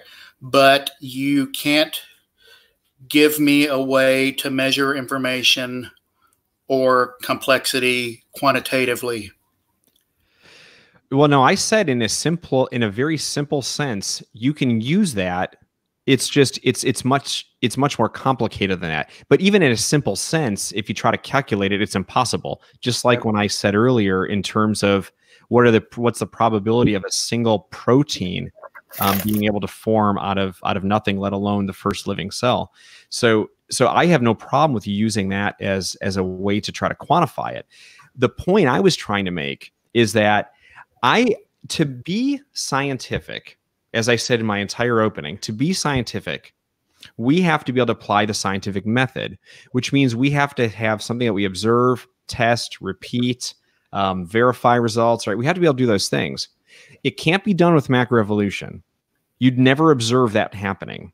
All we can observe is certain traits being expressed within a genetic kind, like in E. coli bacteria studies or in antibiotic resistant bacteria or um, Darwin's finches, right? And they're still finches in the end with slightly different sized beaks. Um, so the issue is that where what is the mechanism? Is there any mechanism possible for evolution to occur? Because I'm just trying to find a way to be fair to evolutionists. How can we apply a scientific method to try to make this scientific? I go as far as to say evolution is not even a theory. It can't be because you can't run it through the scientific method. And there is no, you don't have any ways, any mechanisms for evolution to occur. So you can't run that through the scientific method either, which means that it's not a theory, it's a hypothesis at best. Um, so that's, yeah, that's where I stand on it. Okay, that's time. So now it is uh, 20 minutes for Anthony to ask questions of Patrick. Anthony, you'll have one minute to ask a question. Patrick, you will have two minutes to answer. And again, if if you feel that the question's not being answered, I the question gets re-asked. Okay. Okay. Ready? Go. Yeah, I'm ready. And by the way, thank you, Patrick. It's been a very respectful debate. I enjoy that. So it's uh, it's always fun to, Well, to be able I'm to debate like that. certain way online. I'm sorry, I don't mean to talk over you either. No, no, I was no, just not a going to problem. say I only act a certain way online when uh, I'm, I'm reciprocating uh, behavior that I get. I don't I don't start out out of the gate like that. I don't know if that's I- what I- you're. But I, I get it. I get it. So, okay, so here here are some questions I'm going to ask you, Patrick. Um, number one, has it ever been observed that one kind of animal has ever evolved into another kind, such as an ape-like creature evolving to a man, or a chicken or a bird evolving from a dinosaur? uh, evolution takes place over uh, several generations, and the major evolutionary transitions took place well before mankind even walked the earth, before he even invented a scientific method. So that's one part of your answer. hmm Uh, the second part of your answer is that apes and humans are the same kind, according to agnostic evolution. Uh, birds and reptiles are the same kind, so there's no change of kind required. And I had one other point that I was juggling up there at the top of my mind, but uh, I can't remember what it was. Uh, you repeat your question again, and maybe it'll come to me. Yeah. Has it ever been observed that one kind of animal has ever evolved into another kind? Examples would include an ape like creature evolving to a man, um, or a chicken or a bird evolving from a dinosaur. Well, dinosaurs went extinct before humans ever walked the earth. So, uh, my two points uh, address your. Once again, you, you complained about several of my observations or questions. Uh, that's that's a bad question for uh, the two reasons that I stated. One, there's no change of kind, and two, those transitions took place uh, before humans ever walked the earth, and there's no reason to expect a major uh, what what a creationist would call a change of kind to occur in the present day. Uh, a lot of the major transitions that you time for the answer. sorry, go ahead. Okay, that, okay. that's enough. So for I a yes, here's a yes or no question. So just to clarify, have you has any human ever observed one of these things happening? What has it has he ever observed one kind evolving into another kind? Okay. Well, what uh, creationists would, uh, w- where they would draw the, the line in terms of a, of a different kind, uh, say um, any of the examples you stated. Uh, any example of a kind changing another kind? I, I don't care what it is. I'm just asking. I don't, I don't, don't, I don't use the definition. I don't, I, the, I can't wrap my head around what your, your definition of a kind is. I think in clades. Uh, so there are clade, subclades within subclades that make up uh, one of the three clades in in biodiversity. That being eukaryotes, eubacteria, organism member of clade. So I don't see any change of kind when we talk about. Uh, uh, so, for all are also vascular plant, seed plant that isn't a vascular plant, but in terms of evolution, being a vascular plant is a prerequisite to the evolution of seed plants. Uh, I don't know where you draw the line in terms of kinds for that. It's just it just makes it doesn't. I can't wrap my head around it. Like I said, it doesn't make sense. It doesn't compute. Okay. Did a mammal, was it ever observed that a fish um, turned into a human being? Because that's in, that is a claim of the evolutionists. Sure, humans are tetrapod tetrapods. Obviously, the genetic basis for uh, tetrapod limbs uh, is resident. It's still uh, you can still sort of suss it out. You can sort you know with with tweezers, you can trace it out of the uh, genetics of some lobe-finned fish. Others you can't, so they're not direct. They're not closely related. You know, they're not in the same lineage of ancestry. But no one's ever observed that. That occurred in the Devonian period, appro- approximately 485 million years ago. There weren't any humans around, but technically, humans are classified as lobe-finned fish. Uh, yeah, So I know there's they're no- classified. I, I, I'm just asking if it was Yeah, ever, no. There's no. I mean, there's no. it's no, it's not ever been observed, right? So It's not ever been observed. You can observe it genetically. Okay. Fair fair enough. So um in in when bacteria develop resistant antibiotics, what do they turn into? uh, a strain or a subspecies of the same bacteria uh, based on the law of monophyletic restriction. Or excuse me, I mispronounced that. Little dry mouth. Monophyletic restriction. we wouldn't expect them to turn into anything else, uh, especially just based on a variation in a single trait. Okay. Uh, fair, fair enough. Um, when the flu mutates, is- when the flu mutates every An- year. Anthony, you let him finish. He still Oh, I'm has sorry, I didn't I mean to didn't, interrupt you. well, I mean, I was going to make I was going to make a super, uh, sort of accessory point, but it's really not necessary. Go ahead. Go ahead. It's Wuhan yours. virus from China. Excuse me, I'm being racist. Uh, COVID nineteen from China isolate is still a coronavirus nineteen. Uh, if you compare the an American an isolate from American patient, uh, that's that's just too short a distance to. I mean, they're a major change, but you wouldn't expect that coronavirus to ever change into anything else. Biologists are aware of a phenomenon ca- called monophyletic restriction. You know, Yeah. Okay, we're going to um, turn we wouldn't expect it to. So we look at um so like DNA, there's many other coding systems out there. And so one of those would be uh, so a working coding system like computer code, right? Have do you know of any any working coding system anywhere in the universe that has ever come about without an intelligent designer?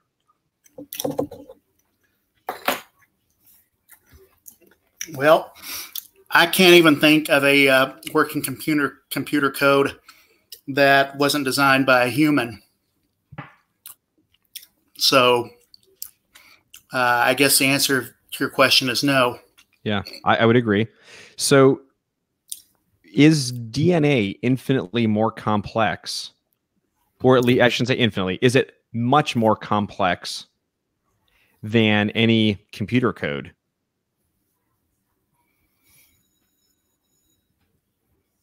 Sure. Yeah, I would agree. So, by logic, if if all working coding systems like computer codes must have had a designer, would it logically follow that DNA must also have an intelligent designer? No, Why not? because it's a chemical, because humans design computer codes. If your premise is that humans design DNA, and you know, if you verify that it is exactly analogous to a computer code rather than just a convenient metaphor for relaying some of the attributes that it has, then this would be a reasonable topic. Um, You have you have to- any guess? I'm sorry. You, You have to demonstrate that it is exactly analogous to a computer code. Exactly comparable, or um, can't think of the word. well, I, I mean, I would think it's very analogous because there's information loaded into both of those. Well, it's, it's analogous and it's a metaphor, but uh, they're not the same thing. Okay. So I'll, I'll ask this question then. Uh, in a in a human being, we've got something like three billion letters of DNA information, right? Um, how could mutations, accidental copying mistakes, create the huge volumes of information in the DNA of living things? Again, you go from a single-celled organism that actually would have had DNA in it. Um, how did that how did that DNA even evolve itself, let alone um, how does mutations add information to get the DNA that we have today? Okay, well, uh, this goes back to the distinction between the biochemical origin of cells or their genetic systems or their uh, organelles versus uh, the theory of evolution, which is the facts and theories concerning the generation of biodiversity. Uh, mutations don't create genomes, they create genome diversity. Uh, so, you know, if you want to talk about evolution, you know, you want to talk about how one you go to your local college campus, talk about evolution, you go to your biology department, how genomes are related, how we can infer that whales are mammals and thus necessarily whales derived from tetrapod four limbed ancestors that were also mammals. That's one set of questions. But if you want to talk about how the first genomes uh, or the first sets of genetic instructions uh, originated and you know how sets of genes accumulated into the first replicating cells you need to go over to your biochemistry department there's a little bit of overlap between those two areas but we don't use the same techniques and we don't study the same things. And like i keep saying evolution doesn't explain why the sky is blue nor does it explain the question you just asked me nor does it meant to.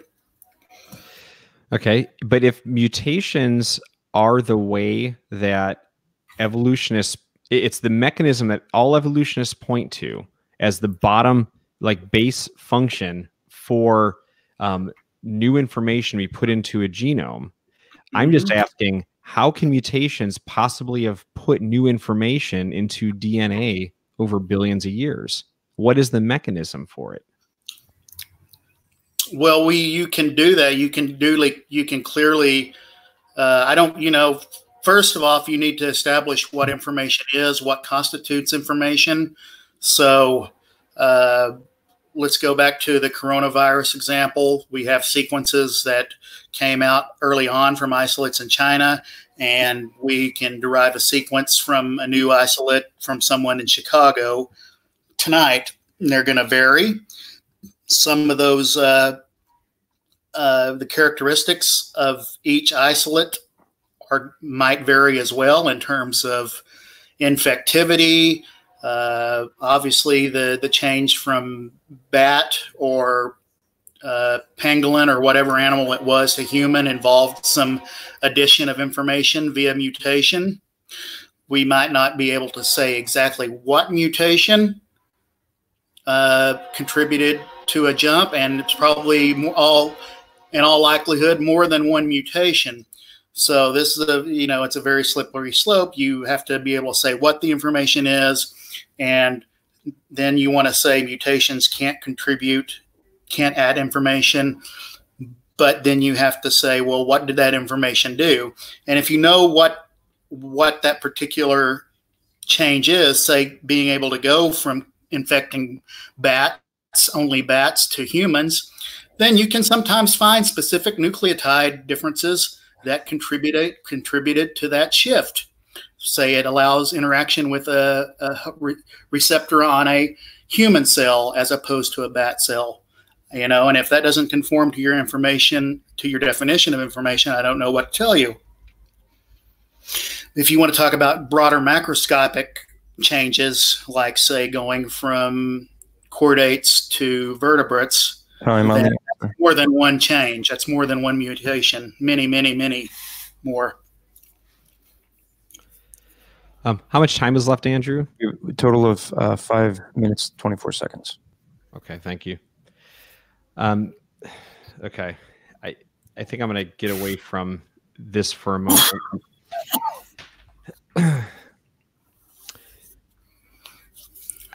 so you had a picture in the beginning of of a coelacanth, right? And coelacanth is is an ancient fish Right? that died off supposedly 65 million or so years ago. But then somewhere around 80 years ago, we found one off the coast of, uh, I don't know which continent anymore, but we found a coelacanth again. And he was Right. remarkable about it. It's over 65 million years, it didn't change. It looks the exact same according to the fossils of 65 million years ago to today. Well, so so Patrick, how do we explain living fossils? Because I can rattle off numerous, numerous fossils. I mean, from from um, uh, spiders to again coelacanth to starfish to frogs. Time Um, on your question. Okay. So all these are out here, and they look the exact same today, or really, really close, where they'd be the same kind. That's They look the the time on same the today as they did millions to hundreds of millions of years ago. How is that to be the case if evolution is is is something that happens? Okay. Well, the the problem with the the the coelacanth example is that what uh, people mistake or call it being a living fossil is really just uh, being ambiguous and, and sort of fuzzy in their acknowledgement of a species versus a genus versus a family. The living two genera, I believe, they might be from the same genus. I can't recall off the top of my head. Uh, they are two species from the Indian Ocean and off the co coast of Madagascar. They actually do look very similar, but our fossil coelacanths are very diverse in terms of body plan. Uh, they also inhabited different habitats. So, you know, a lot of freshwater coelacanths, uh, near shore environments, uh, a lot of different fin arrangements and morphologies. Uh, so, really, you're just sort of, you know, and I don't blame people for not understanding, but it's really just conflating, confl conflating extinction of other genus, other species and genera with one that happened to survive that no one noticed for a long time because it lived in the very deep ocean. You know, there are parts of the deep ocean we don't know a whole lot about, and we're always discovering new animals in those uh, habitats as well. Um, so it's the the no change, uh, the living fossil fallacy, as I like to call it, uh, can be explained by just having a better understanding of the diversity of coelacanths in the prehistoric time versus our one or our two living examples nowadays. And they're not really similar to the uh, fossils that we do have, that, the ones that we have fossils for. Okay. Anthony, okay. As a follow up, more question. What's that? You probably have time for one more question. Two minutes left, unless he answers question. Okay. As a um Okay, so from in your coelacanth example here, um, when it comes to human beings, the ancestor that we supposedly diverged from, so the common ancestor with a chimpanzee, was supposedly somewhere in the neighborhood of a couple of million years ago. And that means that we would have added hundreds of millions of base pair differences into the genome from that mm. common ancestor to humans today, we would look very different than what that was. I mean, we don't look anything like um, so what what evolutionists purport as being transitional fossils. Why is it that we look very different, even in just a couple of supposed you know millions of years of evolution, but yet the coelacanth looks virtually no different, even though you may call it subspecies. Why is it the frog looks virtually no different, even though you may call those subspecies? These things don't look different. And yet they would have been for 60 to 100 million years in, in the case of a lot of these living fossils between how old the fossil was dated to what we mm-hmm. see actually living today. Mm-hmm. Why did the evolution not occur? Well, uh, evolution, first off, evolution isn't predicated on physical change. Uh, sometimes that's all we have to work with, especially if we're looking at fossils. Uh, once again, I just really want to go back and correct you. That's just that's not correct. The coelacanth that we have two living species of today are nothing like our fossil coelacanths, except if you were to go back and find a fossil of the current living species at some time point. Um, and once again, you're talking about why don't we see change? Uh, once again, I just chalk that up to uh, a lack of understanding or a lack of living biodiversity. And when it comes to humans, we're looking at the hominin line, and there are human Homo sapiens, which are alive today, Homo neanderthalensis, which could, you know, which is still a human. It's in the genus Homo, and several others that you know I don't feel like rattling off the names, including uh, within the genus Homo, and then several species within the genus Australopithecus. Those are all hominins, and the ones that have are in the genus Homo are humans. So I think we would all have a very different idea of evolution and be a little more uh, accepting of it if there were more examples of living biodiversity that we're familiar with. And the same thing goes for animals. You know, we're not familiar with the, you know, simple chordates and say the egg laying mammals like the platypus and echidna that uh, other people are, are familiar with, you know, that may live in those specific areas. So I don't agree that there's Fine. a lack of diversity. Okay, so that's time. We're going to go to. Uh, I'm going to put Anthony in timeout. I just like saying that. All right. Bad boy. and I'm going to reset the clock to 10 minutes. You'll have you'll have 10 minutes for your closing remarks. Are you ready? Yes. Let's. Is my screen showing? Or my? Uh, I'm just going to go back to my PowerPoint to address a few things. Sure. Um, sort of. I'm going to improvise a closing statement. How long do I have again? You have 10 minutes. Okay. You ready? Yeah. All right. Okay. I believe this was the last slide. Okay. So you know, I mean, you you can talk about uh, evolution, whether evolution is scientifically possible. Uh, I don't really understand using the biblical basis for whether it is, which you have done, which my opponent has done, as a, a, a measuring stick of whether something scientific uh, I like to use results based, uh, inform, you know, uh, lines of reasoning. Uh, evolution, bioinformatics, medicine, biotechnology, all produce results, and in many cases, they produce profit. They put money in people's pockets. You know, unfortunately, a lot of times it's not the right people it's not the people on the ground floor doing the hard work, but they they produce profits. And if these were just if you know evolution was just a random thing even because you hated God, uh, it would be just a huge stroke of luck that you took this gamble on this worldview and then it put results in your pocket. Okay, now I know in medicine we're talking about things like antibacteria or even the uh, ways that and evolutionary relationships and lineages is being used to, to in the epidemiology of the coronavirus right now.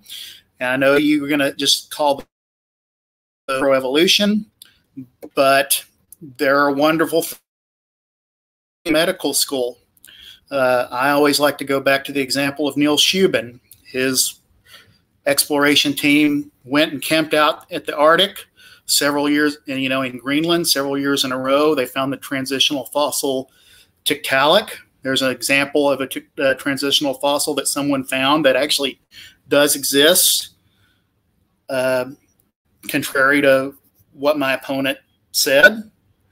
Uh, but for his day job, he actually works at University of Chicago Medical School.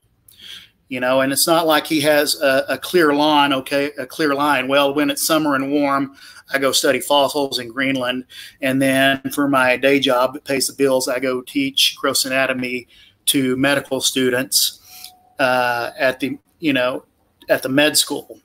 You know, his research disciplines that he uses the fossils for and the stuff that his uh, lab does, you know, at the bench in the wet lab, so to speak, are integrated. One branch informs the other. So he's he looks at the the fish the fish fin, the lobe fin fish fin to limb transition, and then in his day job in his lab, he's looking at the genetic basis that converts converted fish fins to tetrapod limbs. And this just isn't some pie in the sky pursuit. Obviously, it requires funding, and you need to back up the the, the funding when you're asking for people for money to do these research projects. And the reason that they tend to fund these research project is, projects is because they have practical value. And, you know, obviously, if he's looking at the the fish fin to tetrapod limb transition, he's looking at the stem cells and the genetic uh, programming, if you will, that dictates those uh, dictate that dictated that evolutionary trend. And if you're looking at stem cells, then that just blossoms into whole sorts of uh, stem cell therapies, uh, things like that. You know, I, I guess the far fetched scientific thing would be, you know, regrowing limbs or regrowing uh, organs or, you know, doing organ transplant, plant, transplant, transplantation. So they're practical, results driven uh, uh, impetuses for pursuing evolution as a as a line of research. It's not just some philosoph- philosophical uh, fantasy. Okay, and let's talk about the difference between observational and uh, historical science, uh, and whether evolution, even though you can't see macro changes happening in real time, whether you can make theories or you can make you can inform hypotheses and then go test them based on things like the fossil record. Like I mentioned earlier, uh, you're never going to be able to find, and I like to work on plants or use plants as an example because it's something people have ready access to. You can go outside right now, you can find uh, seed plants that are flowering, and you can find seed plants that are non flowering, but you're never going to find a seed plant of either type that isn't also a vascular plant. So the inference is that vascularization preceded seeds in the evolutionary history of plants. We can go and confirm that. You can go back and find the earliest, you know, that vascular plant fossils, such as those of ferns, preceded gymnosperms, which would be something like a, a cedar tree, and angiosperms, a tree that produces flowers. Okay, so you can make hypotheses and then test them using other uh, disciplines. You have to be synthetic and comprehensive in your approach. You can't just say observational science requires eyewitnessing. That's a fallacy. How much time do I have left? Damn it.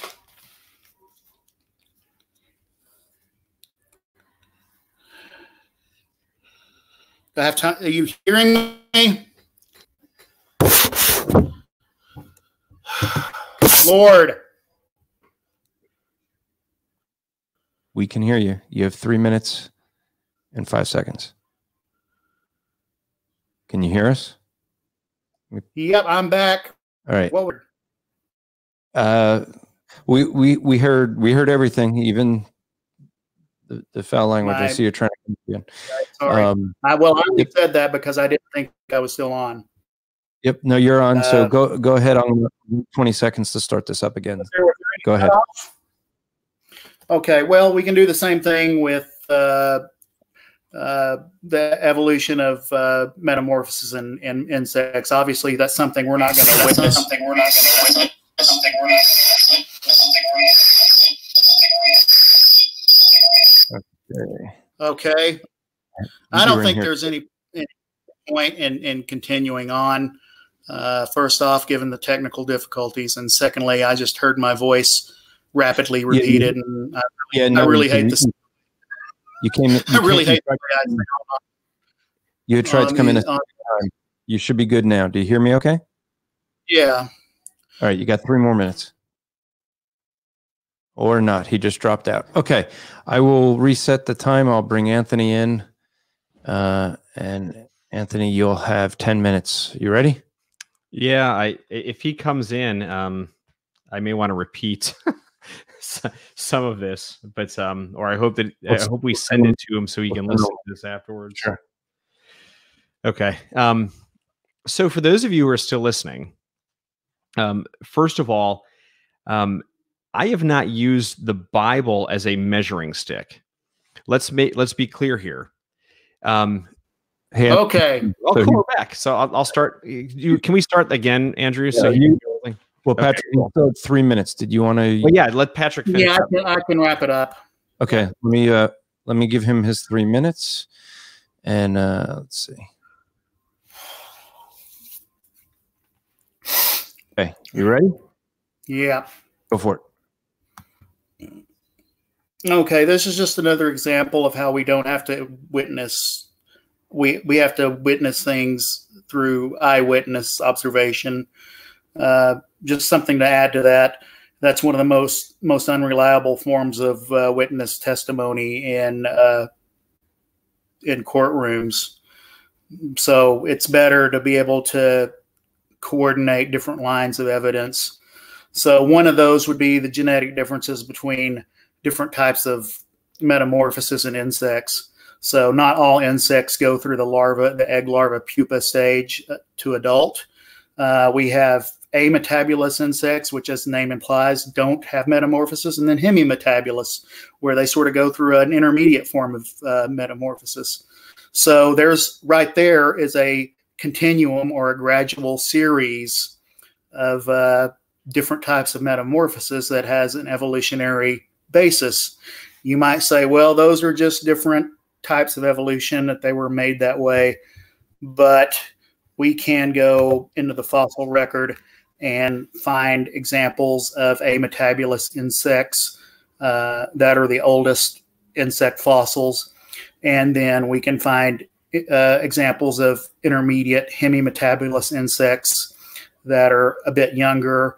And, and then insect fossils are all representatives uh, of uh, holometabolous insects that have the egg larva, uh, pupa, adults uh, series. Now, that's not to say that these don't overlap once they originate, but we can find the earliest examples in a clear graded hierarchy that goes from ametabolous to holometabolous insects. And that's all. Am I still with you? Yes, you have another minute if you want. Um, I don't. Okay. I'll bring. No, I'm good. Okay, bringing Anthony in. I'll put you in backstage. I got to reset the clock for you so that. Actually, we should just leave you at the three minutes. That would be good. All right, you ready? You done listening to me already?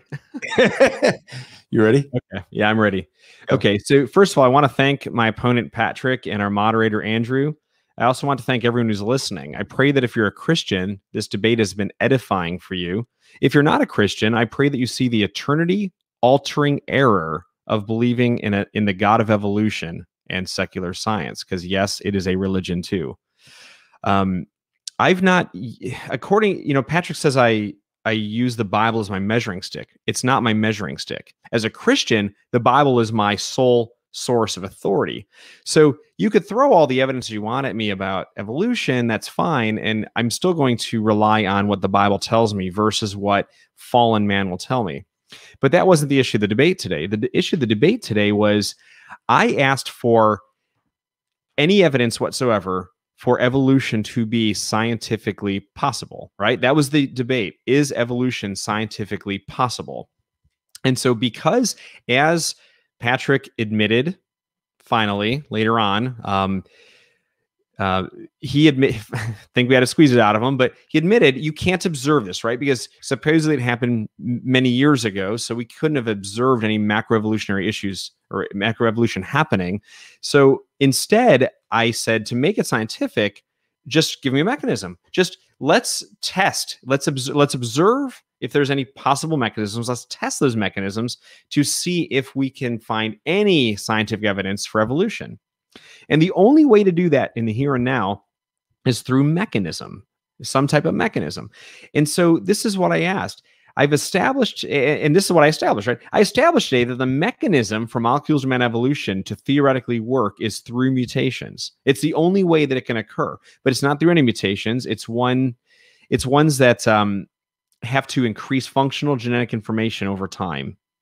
That's it. It's the only way that it's going to occur to go from a single cell to the complex organisms we see today and all of the fossil records. we have to have information added to the genome. Have have there ever been any observed mutations that have increased functional genetic information? And the answer is no. There's never been any. It's zero. Let me repeat. There's never been a mutation that's ever been shown to increase functional genetic information. Every mutation, whether beneficial, neutral, or negative, has really displayed a net loss of information or just a recombining of information that is already present. And when we look at the Noah's Ark example, where and, and the tree orchard versus the one tree of life that the evolutionists believe in, we look at the amount of variability in in the original dog kind that came off the ark. That same dog kind that produced wolves and dingoes and all of the breeds of dog we see today came from one original pair. Let's talk about the genetic variability for this to occur because you've got to have a lot of variability, a lot of information already built into the genome that allows those dogs to speciate out. If we look at a husband and a wife, they have enough genetic variability that they could have 10 to the get this 2017th power. That's a one with 2017 zeros after it. Bef- they could have that many children before they're guaranteed to produce an identical one. That's how much variability is in a human being. Let alone, what do you see in the genetic variability in all these animals? It's easy to conceive how you get all these different speciations and subspecies within a created kind by God. I also pointed out that uh, not only do we have this catastrophic problem in evolution where there is no mechanism that has ever been shown, ever been observed to be able to prove that evolution is even possible scientifically.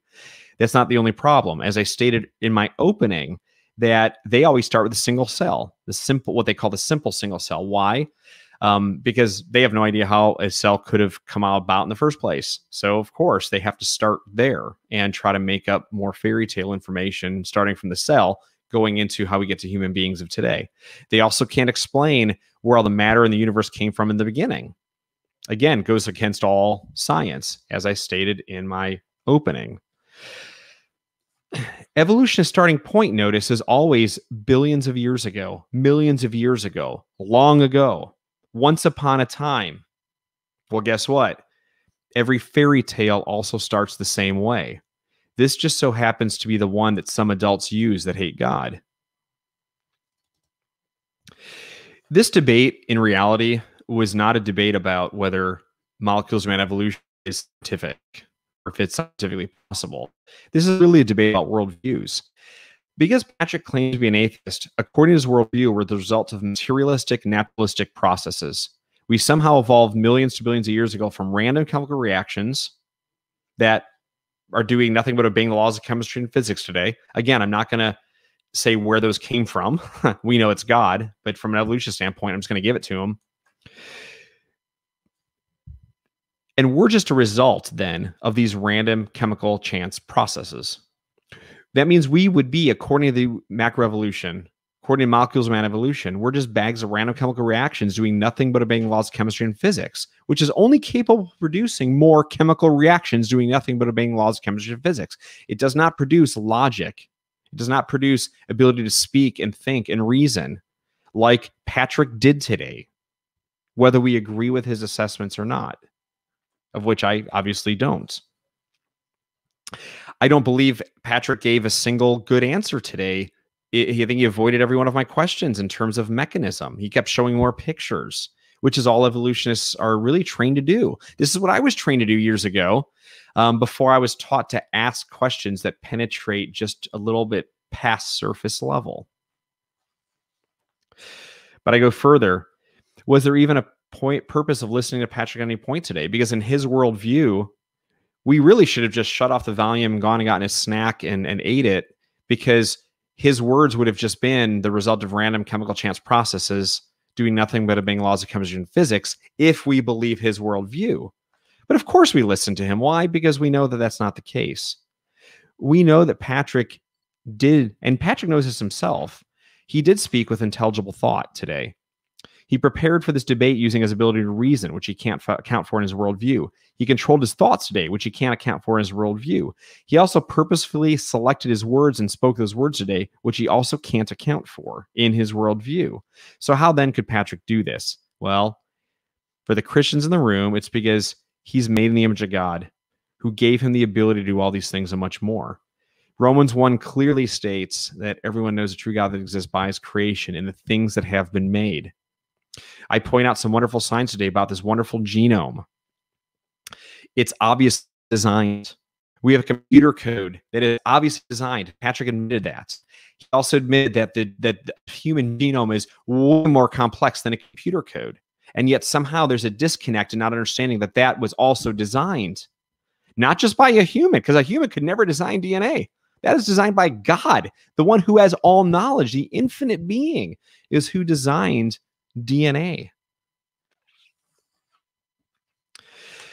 Romans 2 verifies something also that's very important in this world. Romans 1, everyone knows true God that exists. Romans 2 is that the moral laws are in everyone's heart. That includes mine and that includes yours, Patrick. But Romans 1 also tells us that many people, including Patrick here, suppress the truth about God. How? Well, it says in Romans 1 in their unrighteousness, sin causes the unbeliever, as it did to me in my past, it caused the unbeliever to do the same thing Adam and Eve did when they sinned at the beginning of time about 6,000 years ago. The unbeliever attempts to hide from God.